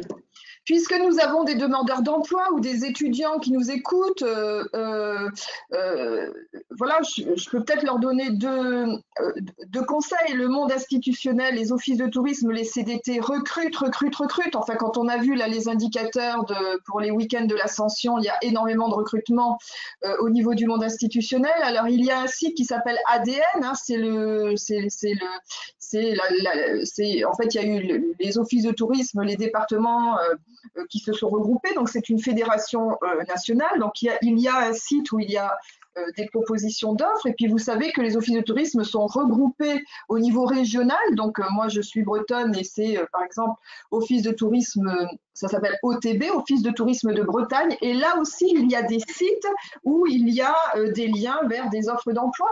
Euh, voilà, vers des offres d'emploi, que ce soit conseiller en séjour, que ce soit euh, euh, responsable réceptif ou chargé de production ou chargé tout ce qu'on a entendu jusqu'à présent.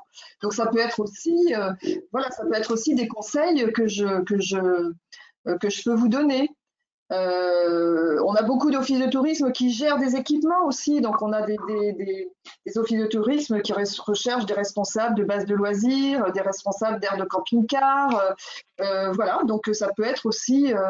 moi, je suis plutôt très, très, très, très optimiste, hein, mais c'est vrai que je ne travaille pas du tout sur l'export. Moi, je travaille que sur l'import, mais ça peut être des, voilà, des, petits tuyaux supplémentaires. Très bien. Merci, Karine. Valérie. Valérie. Oui, on va passer au, enfin, au sujet suivant, en fait, parce qu'il faut qu'on avance, malheureusement, parce que le temps est limité hein, quand même, et on ne va pas y rester jusqu'à 19h, malheureusement, euh, même si les, débats sont passionnants. Alors, en fait, euh, le sujet suivant euh, concerne les nouveaux modes de travail. Vont-ils révolutionner l'industrie? Donc, je vais donner la parole à Thierry Beau, qui, souhaitait donc répondre un peu, présenter un peu le, Mhm. Alors, il y, a eu plusieurs phases hein, par rapport à la crise. Hein. Il y a eu euh, une phase tout télétravail. Euh, et plaboum. Et puis on s'aperçoit que finalement, euh, une culture d'entreprise, c'est aussi un ciment, c'est aussi Radio Moquette, c'est aussi le brainstorming autour de la machine à café. Et euh, on arrive à une forme de bilan médian avec une forme de flex office où euh, on laisse, on responsabilise, on laisse une autonomie à des, collaborateurs en télétravail, mais on leur donne aussi l'opportunité de se réunir, de revenir aux sources d'échanger et euh, de reprendre pied avec euh, la vie et la culture de l'entreprise. Donc il y a une vraie tendance, euh, je pense, au flex office. Certaines entreprises, du reste, en profitent pour faire de l'optimisation foncière. Hein. Il y a des grands plateaux à la défense qui sont rendus disponibles. On est plus sur des modules de 300-400 mètres carrés qui sont recherchés aujourd'hui pour des, pas que des ETI, des grands groupes aussi qui veulent avoir une forme de, point de rencontre dans la capitale.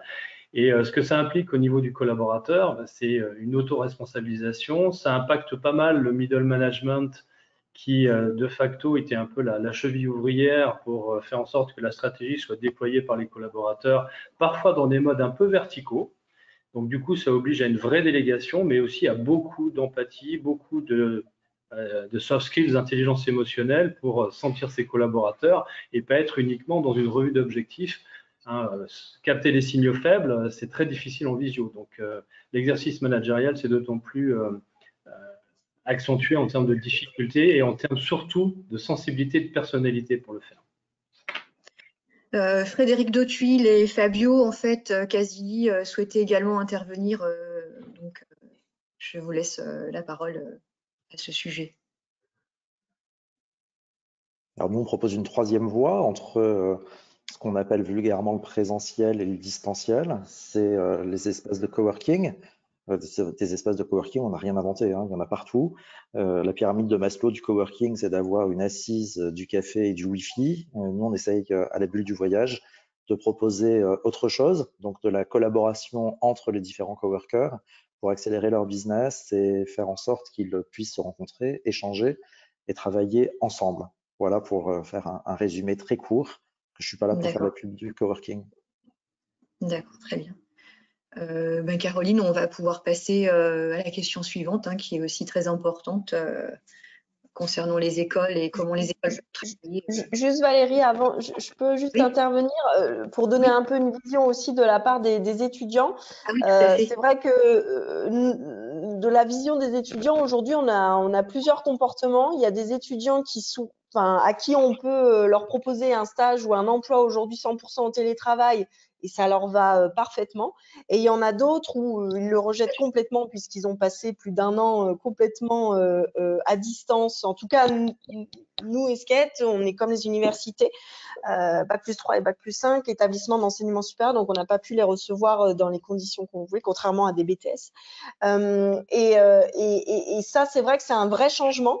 Euh, à prendre en compte, euh, je veux dire, à tous les niveaux, aussi bien des écoles, des pros et des étudiants, parce que du coup, il y a une espèce d'adaptabilité qu'il faut mettre en place euh, et surtout de respect parce que pour, certains derrière, c'est un certain malaise. C'est-à-dire qu'il ne faut pas juger un étudiant qui ne souhaite pas aller 100% en télétravail parce que derrière, ça, vraiment, il y a une souffrance assez importante derrière. Donc, c'est vrai que ça, ça serait intéressant aussi qu'un jour on puisse en débattre et, qu'on avance un peu sur le sujet parce qu'on en parle, on a beaucoup parlé de la détresse des étudiants, mais quid mm. après derrière de ce que ça donne quand ils vont en stage ou en, emploi? Et là, il y a un vrai enjeu d'accompagnement en fait de la part des écoles, en tout cas à prendre en compte. Voilà, juste je voulais apporter la vision nous de notre côté où c'est pas toujours simple euh, et surtout il faut bien respecter euh, ce que ce que, ce que l'étudiant a besoin par rapport à ça.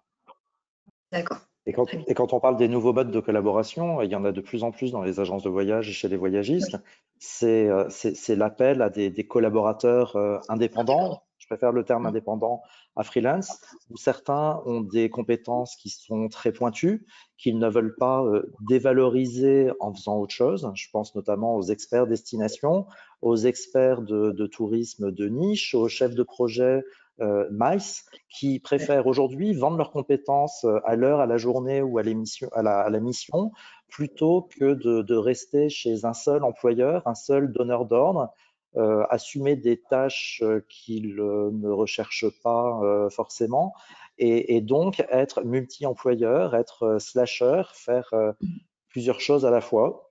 J'en suis un exemple, même si je suis entrepreneur, je suis voyagiste, je suis représentant de compagnie aérienne, gère un espace de coworking, je suis intervenant dans une école.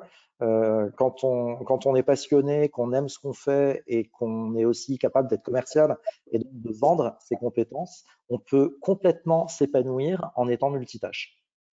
Tout à fait. Merci. Ben, Caroline, nous allons passer euh, à la question suivante. Euh. Oui, très bien. On a listé tout à l'heure les, besoins en termes de compétences. Euh, maintenant, reste à savoir comment les organismes de formation et les entreprises peuvent travailler en commun, peuvent collaborer. Frédéric Canicio, on ne vous a pas encore entendu. Vous êtes à la tête de Grand Sud Formation. Est-ce que vous voulez vous exprimer? Oui, c'est vrai que j'écoutais euh, tout à fait attentivement euh, tout ce qui a été dit jusqu'à présent et c'est très intéressant. Euh, alors, pour, pour cette question de savoir comment on met en contact les, écoles et les, les, entreprises, je pense que c'est vraiment un des sujets d'aujourd'hui. Hein, vous, le, vous, le, voyez bien, beaucoup, de, beaucoup de choses à dire parce que c'est vrai que ces points de rencontre, finalement, ils sont ils sont assez limités. et c'est vrai que de notre côté, en tant que centre de formation, on ne peut pas dire euh, que nous sommes sur des formations professionnalisantes sans évidemment être en, rapport direct avec les, entreprises. Alors, chez Grand Sud, qui existe depuis, euh, depuis 30 ans, euh, ça se témoigne aussi par des cercles de qualité où on invite évidemment les professionnels des différents secteurs pour nous soutenir, nous aider, hein, puisque c'est vrai qu'on le dit souvent aux étudiants, vous rentrez dans, dans, le supérieur, certes, pour avoir un, un diplôme, euh, c'est très joli sur, un mur, ça, décore les, choses, les espaces, mais euh, c'est vrai que derrière, les étudiants visent un métier. Donc, c'est important pour nous, évidemment, d'avoir des formations qui sont en adéquation euh, avec ces métiers-là. Vous le savez, les, changements, on en a parlé, sont, très importants. Donc, comment, créer ce, dynamisme-là? Alors, de notre côté, nous avons des intervenants aussi qui sont des, professionnels des secteurs, évidemment ça va, nous aider, euh, mais je pense que c'est également le, cas de mes, euh, confrères. Euh, maintenant, c'est une bonne question, Caroline, merci de, l'avoir posée, mais c'est peut-être aussi aux entreprises de, nous donner des, clés pour, pour pouvoir les intégrer au mieux dans nos démarches de, montée en compétences auprès des étudiants. L'apprentissage, évidemment, l'alternance fait euh, partie de, ces entrées que nous avons euh, auprès des, entreprises. Maintenant, vous, on l'a entendu aujourd'hui, le, débat est encore, euh, ouvert. l'alternance, je pense que tout le monde y voit le, bénéfice. Nous avons des formations qui sont en BTS, mais également en, bachelor, et elles sont en alternance dès la, dès la première année. Euh, maintenant, c'est un peu la contradiction. Euh, on sent bien que les étudiants ont besoin de ce temps en entreprise pour monter en, compétences et c'est euh, complètement cohérent avec nos, formations à nouveau qui sont professionnalisantes. Maintenant, la réalité des entreprises, on la connaît, vous l'avez dit aujourd'hui, c'est est-ce qu'on a la possibilité tout de suite de prendre euh, un ou une alternante dès sa première année Est-ce qu'on aura le temps, évidemment, euh, avec la réalité de l'entreprise, de bien s'occuper de lui euh, Parce que c'est le, le, but, évidemment, hein, de, toutes les, alternances. voilà, c'est aussi un, vaste, un vaste sujet. et comment, comment aujourd'hui nous pouvons, en tant que centre de formation, à la fois vous inclure davantage entreprises dans, nos, dans nos formations et ce décloisonnement évidemment entre le centre de formation et l'entreprise, c'est un très vaste sujet. Je pense qu'il faudra une, deuxième réunion pour, pour cette partie-là. Pas de problème. Olivia Calvin, est-ce que vous voulez répondre? Est-ce que vous avez une idée de, de la meilleure collaboration possible? euh, non, j'ai pas une, euh, j'ai pas la clé, euh, mais, mais c'est clair qu'il doit y avoir beaucoup plus de d'interaction et pas seulement autour comme ça d'un débat entre les écoles. Et je ne crois pas que ça soit l'élève qui doit, qui doit être le lien justement entre, entre les écoles et, et, et les entreprises. Il faudrait que les entreprises c'est pas non plus toujours aux professionnels de venir et d'intervenir dans l'école. Je pense que les professeurs, les directeurs d'école euh, euh, doivent venir, revenir dans les, en tout cas euh, chez les voyagistes, chez les théos, pour voir la réalité, qu'est-ce vraiment ce dont on a besoin. oui, je suis d'accord avec, avec, avec toi, Laurie, sur le fait qu'on doit s'entendre et il doit y avoir une cohésion. Mais malgré tout, ces dernières années, et, et ça fait dix ans que je travaille dans ce secteur-là, j'ai quand même l'impression que ces dernières années, on a eu plutôt l'impression que c'était nous, recruteurs, qui devions nous adapter euh, à, l'offre euh, aux demandeurs d'emploi euh, que l'inverse. Et là, je pense que la crise a, a, encore plus mis en exergue toutes les problématiques qu'il y avait, mais on a aujourd'hui des formations qui sont un peu en tout cas des formations peut-être de bah, Bac plus 2, qui sont euh, en inadéquation avec, euh, avec euh, notre réalité. J'ai eu encore l'autre jour une, professeure qui m'a appelé pour nous demander de lui envoyer des, des brochures. et je lui ai dit, bah, cette année, on a fait des e-brochures. Elle me dit, mais on n'a pas le droit pour passer les, les, BTS, etc., de, au support informatique et à Internet. Ben, en 2021, euh, alors qu'aujourd'hui, notre quotidien d'agent de voyage, il est d'être sur des ordinateurs euh, et euh, sur euh, des écrans, euh, c'est vrai que ça m'a choqué. Et je me suis dit, il y a un vrai, il y a une vraie distorsion quand même entre ce qu'on leur apprend et ce dont on a besoin au final quand on les accueille dans les entreprises. Donc, je dirais que on a besoin que vous veniez un peu plus euh, dans nos entreprises pour voir euh, ce dont on a besoin et que vous voyez en live euh, la réalité et pas seulement le voir sur le descriptif de, de des, apprentis, des demandes d'apprentissage, d'emploi, de, de, CDI qu'on vous demande et que vous relayez et, et, grâce à vous, on arrive à recruter. Mais voilà. Il y a une part de vie ma vie. En fait, il y a une part de vie ma vie. Euh, moi, j'ai été professeur à Grand Sud Formation. Donc, euh, je salue Alexandra et Frédéric, on ne se connaît pas, mais voilà, j'étais professeur à Grande Suite de Formation et, et, je suis organisme de formation. Et j'ai le sentiment qu'il y a deux, deux structures, et pourtant non. En fait, j'ai le sentiment qu'il y a les écoles et j'ai le sentiment qu'il y a les organismes de formation. Et pourtant, on dépend de la même certification qu'à l'IOPI, on, on, est on est pédagogue. Alors, qu'est-ce qui fait la différence? Ben, Je pense que les écoles dépendent, et alors ça, ça ne sera pas du tout le débat d'aujourd'hui, mais dépendent en effet euh, du rectorat, des directives de l'inspection académique, etc., etc. Ce que vous dites, Olivia, c'est quand même incroyable qu'au XXIe siècle, on travaille plus sur des brochures numériques et qu'aujourd'hui, des étudiants de BTS aient besoin de présenter des brochures papier à, l'oral d'examen. Euh, voilà, c'est quand même incroyable que pour les techniques d'accueil, on dise aujourd'hui que dans un office de tourisme, euh, euh, on, fait de l'accueil et de l'information et que l'on vend le territoire. Non, il dégage du chiffre d'affaires, un office de tourisme, il fait du business. Et en fait, je m'aperçois que euh, qu'il y a une disparité entre le, les organismes de formation et les écoles. Et pourtant, ce sont les mêmes. Voilà ce sont les mêmes. Et je pense que les écoles, voilà, moi je ne pas au la, la, la, différence, c'est euh, euh, si on, enfin, quand on est école euh, publique, on dépend de l'éducation donc nationale ouais. et on, quand on délivre un BTS tourisme, on doit suivre le référentiel qui est défini en effet euh, par le, par euh, le ministère de l'Éducation nationale. Et quand on est école privée, là, du coup, on dépend plutôt, on a fait une demande euh, de certification de, des titres auprès de, du RNCP, enfin, en tout cas de France Compétences qui dépend du ministère du Travail. Donc, c'est c'est des choses différentes. Et donc, euh, nous, typiquement, SKET, on dépose des, titres avec des blocs de compétences et après, derrière, on, délivre notre programme. Donc, après, euh, il faut bien aider euh, l'audience à comprendre la différence entre ceux qui, sont euh, voilà, sur le référentiel de l'éducation nationale et ceux qui sont sur euh, euh, plutôt euh, liés à des blocs de compétences et à des titres qui sont certifiés au RNCP. C'est vraiment différent. Donc après, voilà, je pense que Olivia, je, je voilà, je pense qu'on était là sur un BTS tourisme euh, éducation nationale. Et peut-être dire aussi à l'auditoire qu'on peut se former à tout cette intervention parce qu'effectivement on est sur, sur deux choses totalement différentes. Il y a les choses qui sont maîtrisées par l'État pour lesquelles on a un référentiel type BTS et on fait ce qu'on nous demande. Et malheureusement souvent c'est des diplômes qui sont, euh, qui sont mis en place euh, justement par rapport aux, acteurs du tourisme, parce que le BTS tourisme, qui était anciennement le VPT, AGTL, il y a déjà eu des transformations euh, par rapport aux, demandes des acteurs, mais c'est vrai que sur le BTS, nous, en tant que centre de formation, c'est voilà, faites ça et on doit faire ça. Et on a ce manque d'adaptabilité-là du fait de ce diplôme d'État.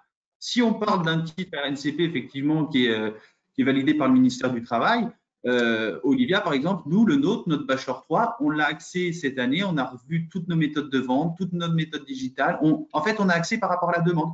On a, on a regardé un petit peu avec nos partenaires ceux dont ils avaient besoin.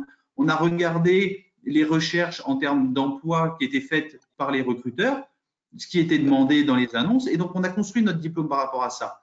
Et il a été validé, il est certifié par la RNCP, le ministère du Travail. Donc, si vous voulez, en tant que centre de formation, quand vous avez la possibilité de faire ça, eh ben c'est à la fois bénéfique pour le centre de formation et pour l'entreprise, parce que vous pouvez vous adapter en termes pédagogiques, ça veut dire proposer l'emploi du temps que vous voulez à votre partenaire pour qu'il ait un maximum le jeune en entreprise et qu'il puisse bien suivre sa formation théorique. Et en plus de ça, vous, vous, pouvez vous adapter aux besoins du recruteur, aux besoins réels. Quand on forme en bac plus 2 le BTS, euh, voilà, on est vraiment on est cadré par ce diplôme d'État qui nous dit vous devez faire 1100 heures et vous devez faire 10 heures de ça, 15 heures de ça, 20 heures de ça. Et comme vous le dites, Olivia, je vous rejoins, c'est que ça, c'est pas forcément la réalité. Et, c'est ce que je vous disais tout à l'heure en termes de recrutement. Nous, en tant que centre de formation, on se retrouve dans l'impasse aussi avec ça, où on a des recruteurs qui vont nous dire Maintenant, euh, moi, je sais que j'ai tel type de mission à proposer qui ne sont pas forcément des missions de type Bac plus 3 à Bac plus 5, mais je ne veux pas recruter un BTS parce que le BTS, euh, il ne il va pas être formé pour les missions que, euh, que, moi, enfin, les missions qui sont nécessaires à, la, mon activité. Et c'est toute cette complexité avec ce, ce diplôme du BTS aujourd'hui. Peut-être dire à notre auditoire qu'on peut se former à tout moment, c'est-à-dire, voilà, à tout moment, la formation, elle est possible aujourd'hui. On peut être formé dans les écoles, on peut être formé dans les organismes de formation, et à tout moment, puisque l'on dit que les métiers ont, énormément évolué, euh, et la crise sanitaire nous l'a encore plus démontré, mais, que, la formation, voilà, on peut, être, formé à tout moment. On a quand même, cette chance de pouvoir choisir euh, euh, voilà, des, formations, même des formations courtes. Même des formations courtes. Donc ça, je trouve que c'est très encourageant. Très. Le problème, le problème qu'on rencontre aussi en tant que centre de formation, et enfin plus que centre de formation, c'est un véritable problème franco-français aussi, c'est que malheureusement en France, vous pouvez faire les formations que vous voulez, mais si à la fin, elle n'est pas certifiée soit par un diplôme d'État, soit par un titre RNCP, soit par, quelque chose qui a une, une valeur un peu, j'ai envie de dire, administrative ou ministérielle, eh ben, le malheur, c'est qu'en France, derrière, ben, vous stagnez à un niveau. Vous voyez, on n'est pas, pas dans ce principe où, enfin, encore très peu, malheureusement, je, je vois Yann coche la tête, mais moi, je me rends compte encore dans beaucoup d'entreprises, on est encore très peu dans, je mise sur les compétences.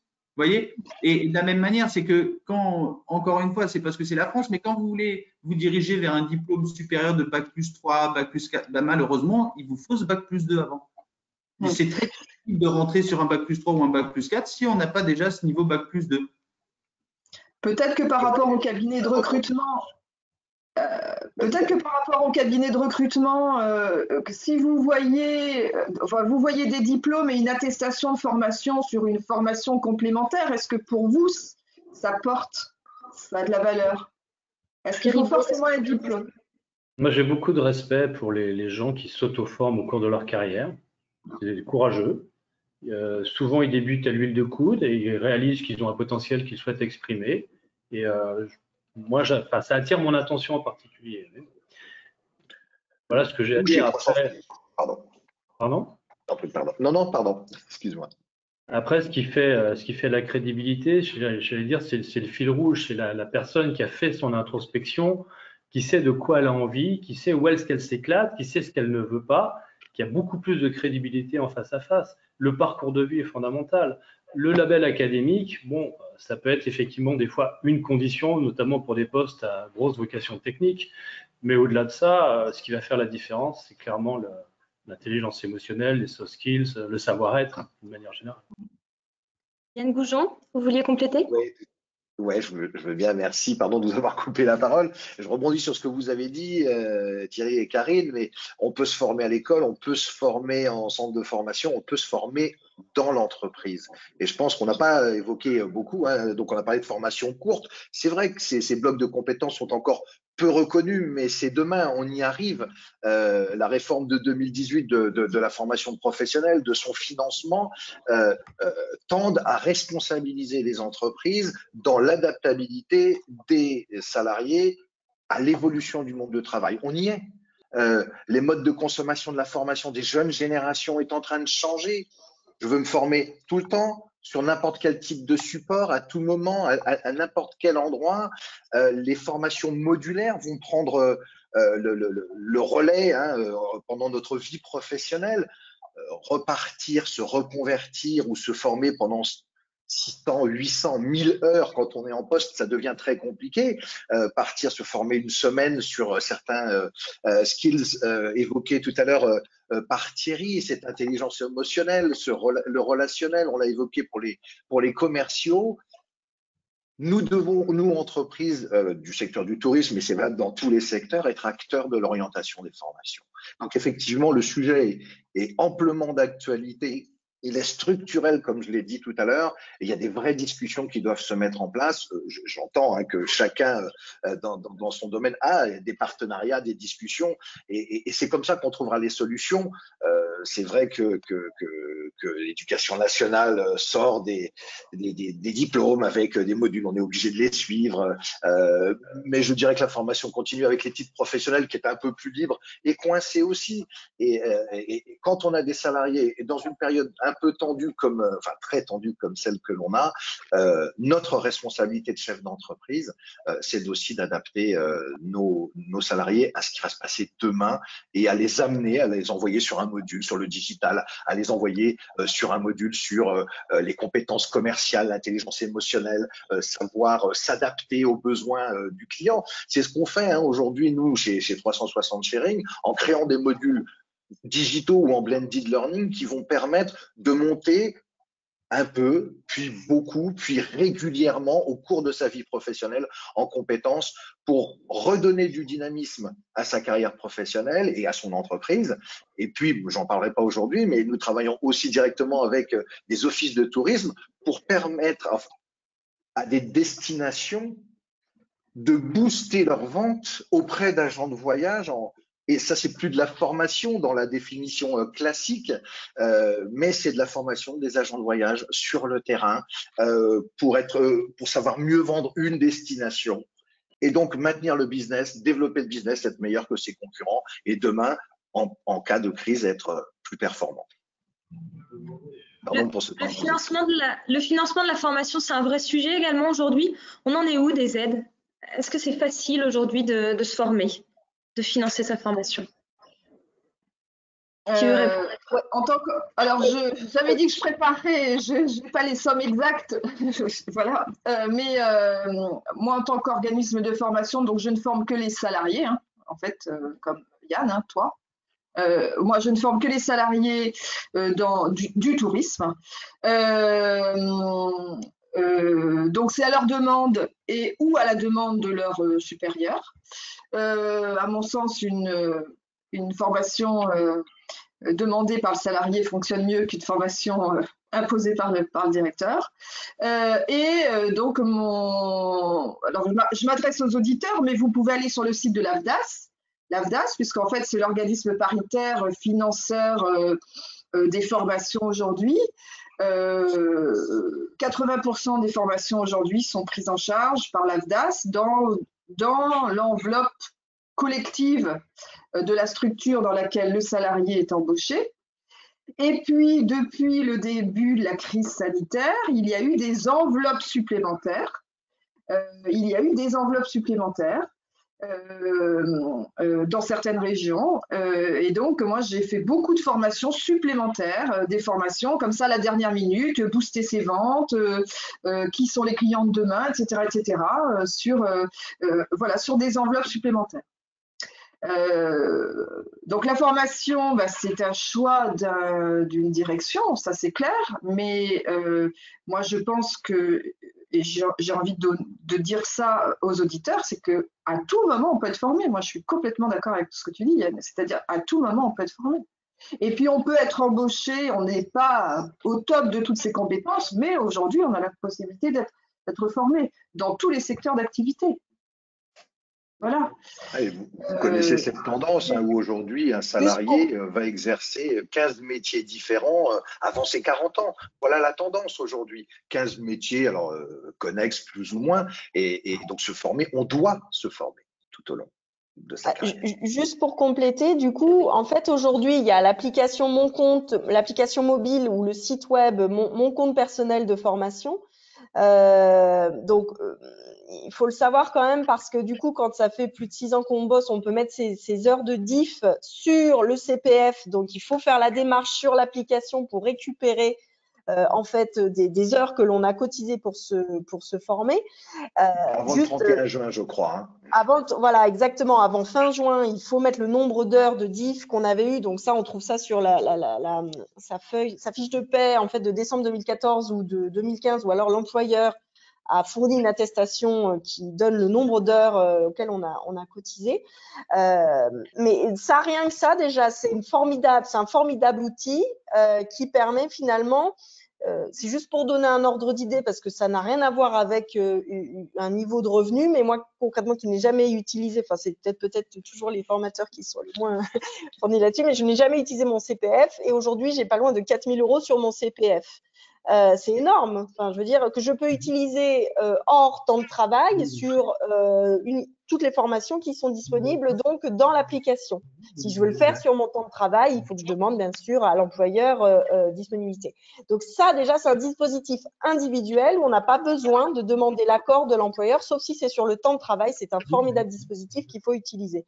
Et après, pour rejoindre ce que disait Karine, elle parle de l'AFDAS, mais il y a également l'OPCO Mobilité pour les voyagistes et donc, enfin, producteurs et distributeurs, qui ont mis en place donc le FNE, le FNE 2021, qui prend en charge, euh, alors, c'est au cas par cas, mais, euh, mais en effet, qui peut prendre en charge une formation dans la totalité pour les salariés euh, d'un acteur du voyage euh, si cet employeur démontre que le parcours de formation qui est sélectionné avec l'organisme de formation euh, accompagne la mutation de l'entreprise. Il faut démontrer une vraie cohérence. D'ailleurs, c'est un travail très intéressant à réaliser entre l'employeur, l'organisme de formation et l'OPCO. mais en ce moment, on a des dispositifs qui sont en effet assez dingues. Et je rejoins Karine, énormément de salariés de l'industrie se sont formés et nous, on a fait, euh, on a accompagné énormément de personnes cette année aussi sur de la formation continue euh, grâce à notre plateforme en ligne de formation. Mais c'est le moment, ça n'a jamais été autant de moment de se former pour se réinventer, ouais, carrément. et l'avantage des, l'avantage des OF, et je ne parle pas du tout pour moi, mais tous mes confrères, c'est la même chose, c'est-à-dire que lorsque l'on on, on, a, tenu compte de l'actualité pour mettre en place des programmes de formation. Je veux dire, moi, mes programmes de formation d'il y a deux ans n'ont rien à voir avec ceux d'aujourd'hui. Euh, voilà, on, est, on fait de la veille, on est euh, sans cesse en lien avec l'actualité touristique pour mettre en place des programmes, euh, des programmes de formation, qui peut-être dans six mois devront changer d'ailleurs. Merci à tous. Moi, je suis obligé de vous quitter. J'espère qu'on aura l'occasion de refaire ce type d'exercice. Merci beaucoup. Merci. Au revoir Thierry. Au revoir. Merci. Au revoir Thierry. Brice Dution doit être là également? Oui. Est-ce que vous m'entendez? On vous entend très bien. Oui. Bah, Donc, Brice je rappelle, directeur de la filière tourisme du campus sud des métiers du campus sud des métiers à Nice. Donc à la CCI Nice Côte d'Azur. Allez-y, on vous Excusez mon, mon grand, grand retard. J'animais une, une, un débat, une table ronde dans un cadre d'un projet qui s'appelle M Tourisme et on parlait du lien entre mobilité shopping et tourisme et, notamment, on a fini bien sûr sur les questions essentielles de, formation et notamment de formation des acteurs, d'information continue. Voilà, excusez, d'ailleurs, j'ai un petit problème de connexion, donc vous ne me voyez pas, mais vous m'entendez. C'est aussi bien parce que je ne suis pas aussi beau que vous, donc euh, que je, je déparerai dans, cet horizon de, de, photographie et de, de visage tout à fait agenant.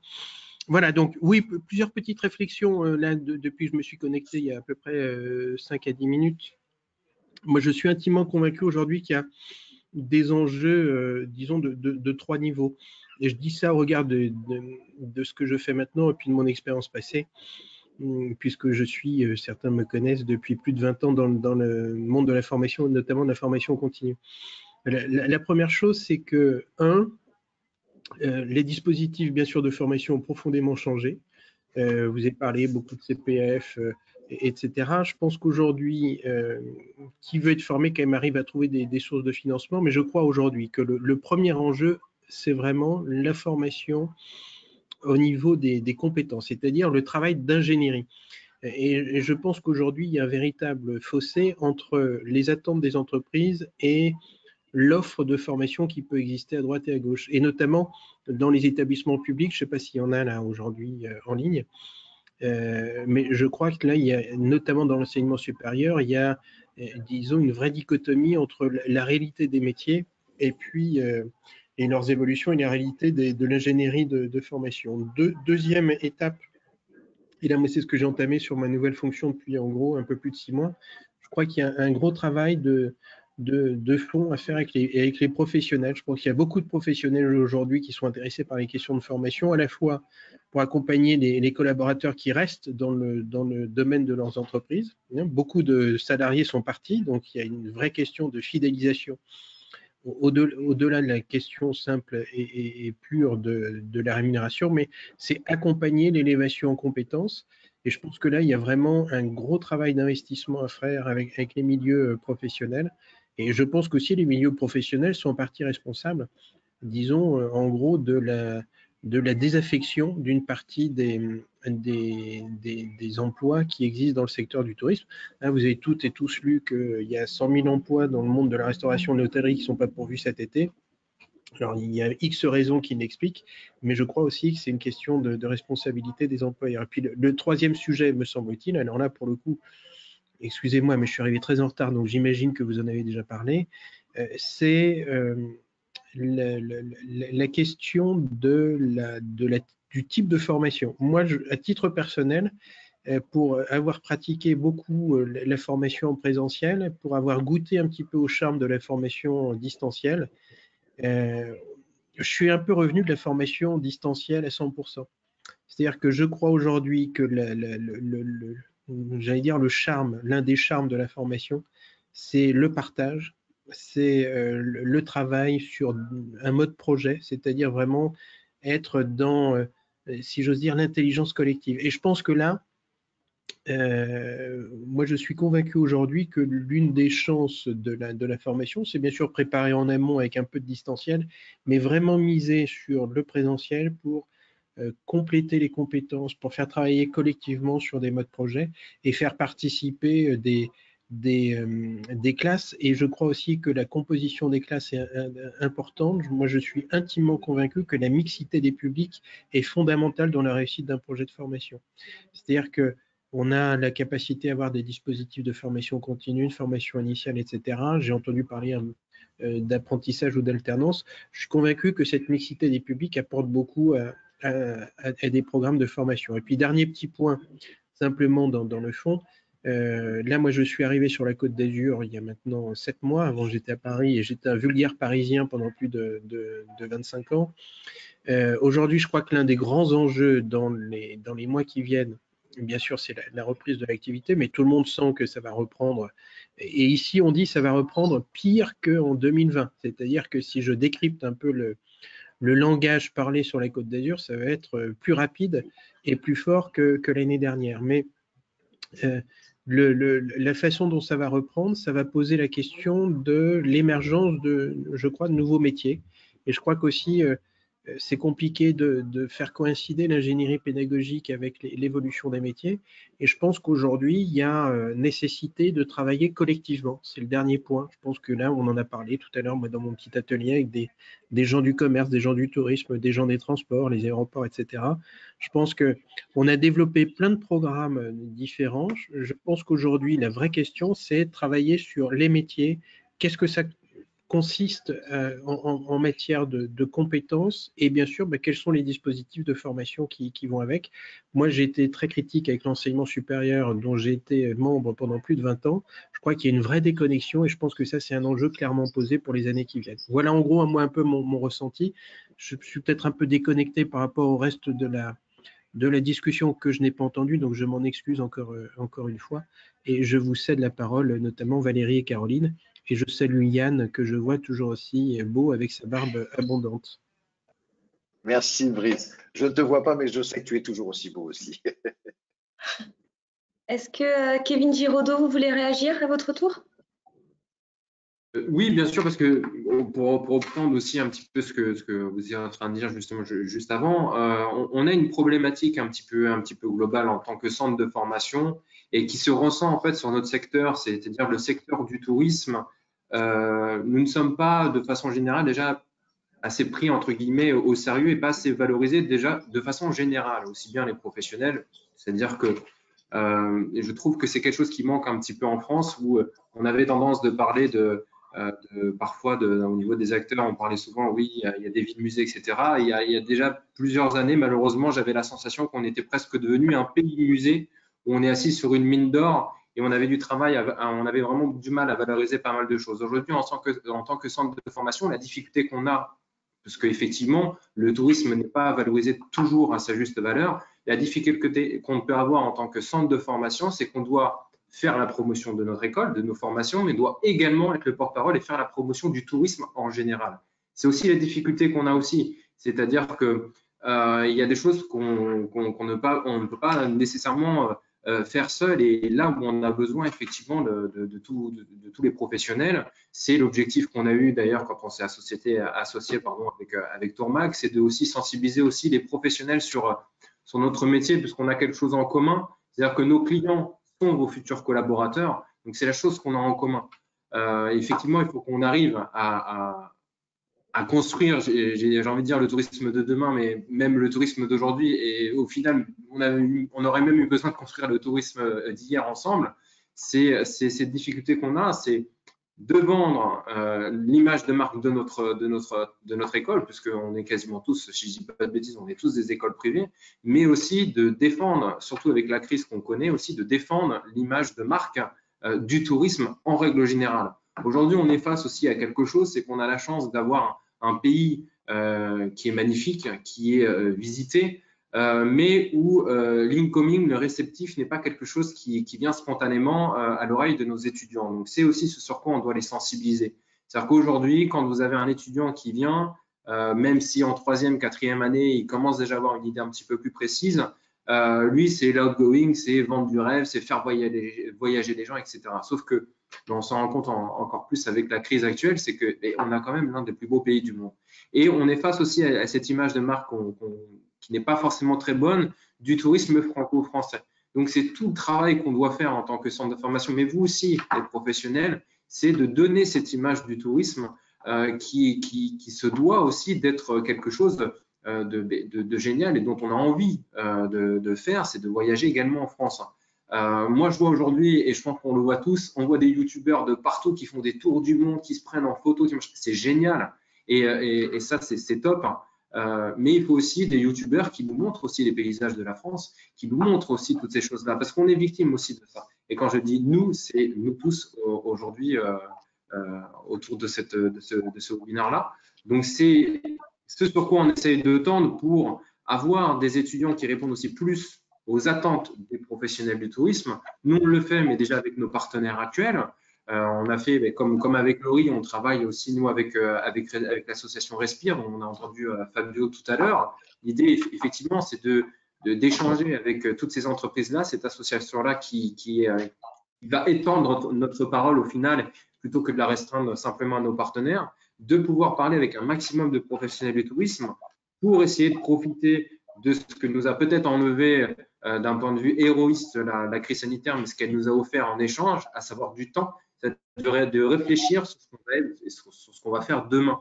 Donc aujourd'hui, c'est ce qu'on essaye aussi de tendre et de, vendre aussi à nos étudiants, c'est de dire, OK, aujourd'hui, le tourisme, c'est pas évident, euh, c'est pas parce que on a la crise sanitaire que nous connaissons tous, mais vous avez la chance de participer à la réflexion de ce que va être le tourisme de demain. Donc c'est ce sur quoi aussi on doit aller tous ensemble, évidemment.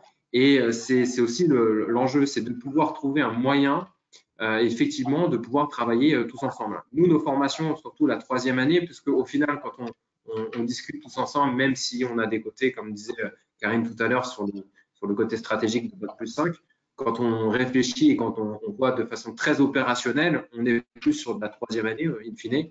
Et du coup, sur le côté opérationnel, nous, on a interrogé tous les professionnels du tourisme que nous avions, avec qui nous travaillons. Nous travaillons avec des startups, avec Worldia, nous travaillons avec, pas mal de structures, comme tous et toutes d'ailleurs en tant que centre de formation.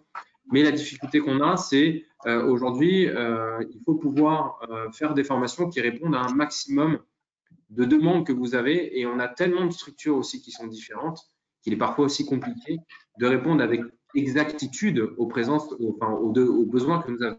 Mais c'est là que joue un, rôle prépondérant, juste sur ce que disaient Yann et Karine, c'est les formations intra, où on va aller sur le modulaire, où on va apporter justement des solutions beaucoup plus précises à des employés euh, et aussi euh, proposer aux employeurs d'aller vers eux pour dire, bah voilà, vos, employés aujourd'hui ont des besoins, nous, on peut les apporter.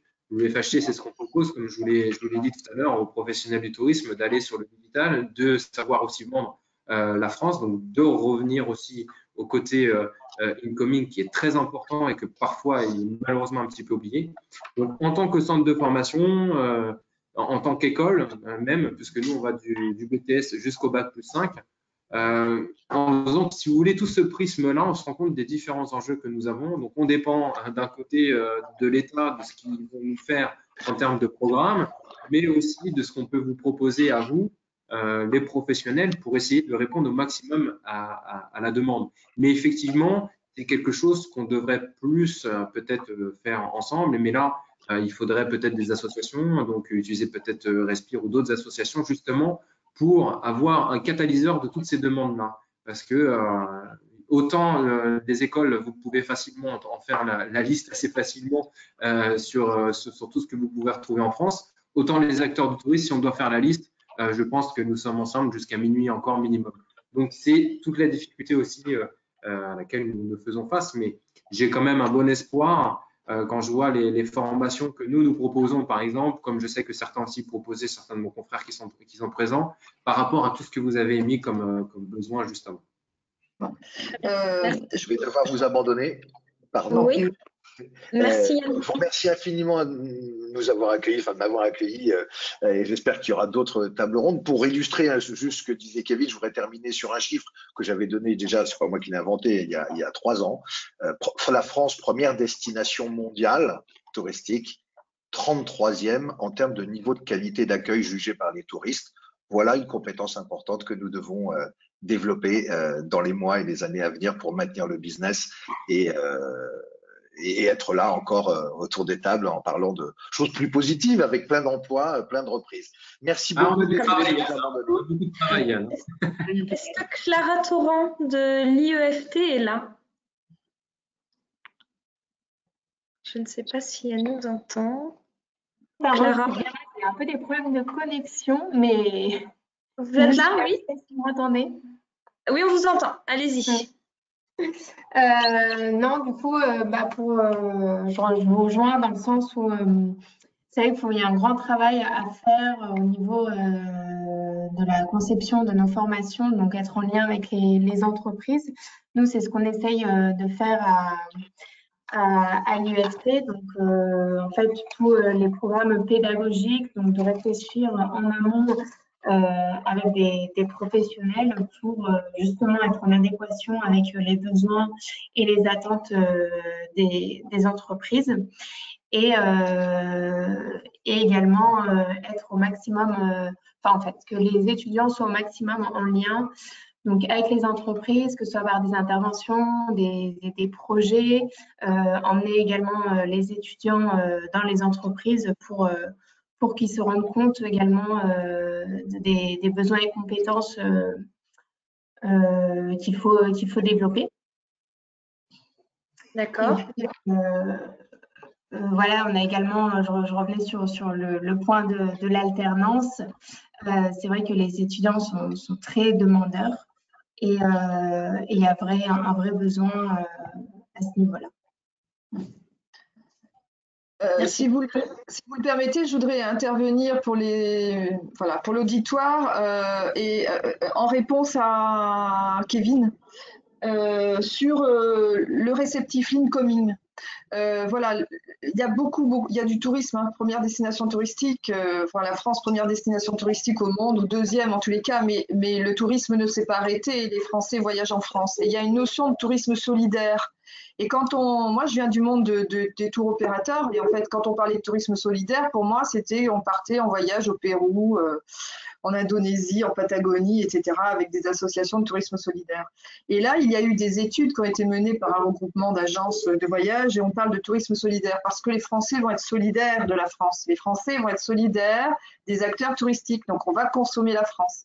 Alors, pardon, euh, pour, euh, pour les agences de voyage et tour opérateurs et j'ai un respect énorme pour vous. Euh, mais on, s'est rendu compte que le type de produit, quand on partait en week-end à Marrakech, je dis souvent en formation, qu'est-ce qu'on va rechercher dans un week-end à Marrakech? Alors oui, on va rechercher des paysans, etc. Mais est-ce que nous, en France, on est capable de proposer des produits, des produits des paysans, des produits innovants, des produits complètement décalés? Et on travaille beaucoup sur ça. Donc moi, j'ai un grand, grand, grand, grand, grand, grand, grand espoir et c'est vraiment ce que j'ai envie de dire dans ce webinaire à tous ceux qui nous, qui nous entendent, qui sont un peu en galère de recherche de travail, mais il faut penser aussi au réceptif France. Euh, euh, euh, la représentante tout à l'heure de, France DMC Alliance le disait, il faut, penser au réceptif France parce que, parce que avant que les Français repartent peut-être sur l'export, les Français vont voyager en France. Voilà. Il y a du, il y a du travail. Hein, ça c'est sûr. Les deux, peut-être que dans un premier temps, ils vont rester en France, mais je pense que les voyages à l'étranger aussi vont bien repartir. Il y a vraiment un gros besoin aussi derrière quand les frontières oui. vont se... Et on n'a pas parlé des gros événements qui, pour, et on n'a pas parlé des gros événements qui, pour certains, euh, vont avoir lieu. Je pense au Tour de France. Et moi qui ai beaucoup travaillé dans les Alpes, par exemple, ça gère, des flux de, visiteurs euh, absolument incroyables. Alors peut-être qu'on aura des visiteurs étrangers, mais je veux dire, on a aussi des gros événements en France qui drainent beaucoup, beaucoup, beaucoup de flux de clients français et étrangers. En tout cas, pour compléter sur ce que tu, ce que tu dis, pardon, ce que tu, on se connaît pas encore, Karine, mais, euh, euh, ce, que, ce que vous dites, euh, c'est que vraiment nous, en tout cas, en termes de recherche de stage ou même d'insertion, enfin, bon, après, on est une école à taille humaine, donc on a 220 étudiants euh, voilà, euh, chaque année, mais euh, concrètement, il n'y a pas de souci en ce moment pour trouver un stage. C'est juste qu'en fait, en fonction des contraintes géographiques, des contraintes financières, des contraintes personnelles qu'ils peuvent avoir, là, ça réduit le scénario. Mais on voit, enfin, on voit cette année des insertions ou des projets de stage qui sont juste magnifiques autour du, euh, euh, de la micro-aventure, donc et micro-aventure France, autour du bien-être, euh, autour de, de la perma, permaculture tourisme, autour, autour des, des, espaces de coworking, du tourisme durable bien sûr, tourisme solidaire, tourisme animalier tourisme et handicap. Euh, et nous, nos jeunes, en tout cas, ont envie de faire la promotion de leur territoire, de leur département, et ils en sont fiers. Donc, euh, donc sincèrement, enfin, franchement, c'est sûr, il y a le marché du réceptif, euh, où en ce moment qui offre plein d'opportunités institutionnelles, hôtellerie de plein air, euh, acteurs de location saisonnière, conciergerie. Enfin, il se passe un tas de choses et il y a de belles missions. Et après, il y a tout le secteur qui envoie en fait les Français à l'étranger pour voyager, où là, c'est pour le moment en effet euh, plus compliqué. Mais il faut vraiment passer le message à tout le monde qu'il y a deux marchés en ce moment, il y a deux vitesses, mais que des opportunités, il y en a. Et c'est là aussi je rejoins un peu tout le monde. Voilà, on est en train de construire euh, quelque chose de nouveau et où je rejoins Fabio. Je pense que peut pas tellement avoir le même discours qu'avant Covid, selon moi, et qu'il y a vraiment des choses qu'il faut évoluer. Et ça passera, à mon sens, par la nouvelle génération, mais pas que. Euh, parce que les personnes qui sont en reconversion ou qui ont bossé pendant des années dans l'industrie, maintenant ils savent ce qu'ils veulent, ils savent ce qu'ils veulent plus. Et je pense qu'il faut entendre concrètement. Et euh, ça, c'est un message pour Caroline et Valérie. Mais je pense sincèrement que si la prochaine fois on pouvait avoir soit des étudiants ou des, personnes en reconversion ou des pros dans l'industrie qui peuvent témoigner, en plus, je pense sincèrement que ça peut enrichir le débat et donner une autre euh, couleur à, tout ce qu'on peut dire. Voilà. juste, moi en tout cas, je sais pas si. Ouais, pour terminer c'est entendu, on le fera. ben, en tout cas, je vous remercier euh, donc pour euh, votre participation à ce premier forum qui est un grand succès, je pense. Euh, donc, je Merci à vous. et d'autres. Donc j'espère que ben, vous reviendrez nombreux et, que le public a, aimé en fait donc vos, interventions qui étaient de Merci beaucoup. Merci. Merci à vous. À bientôt. Merci à vous tous. À bientôt. Au revoir. Au revoir. Merci à tous. Au revoir. Au revoir.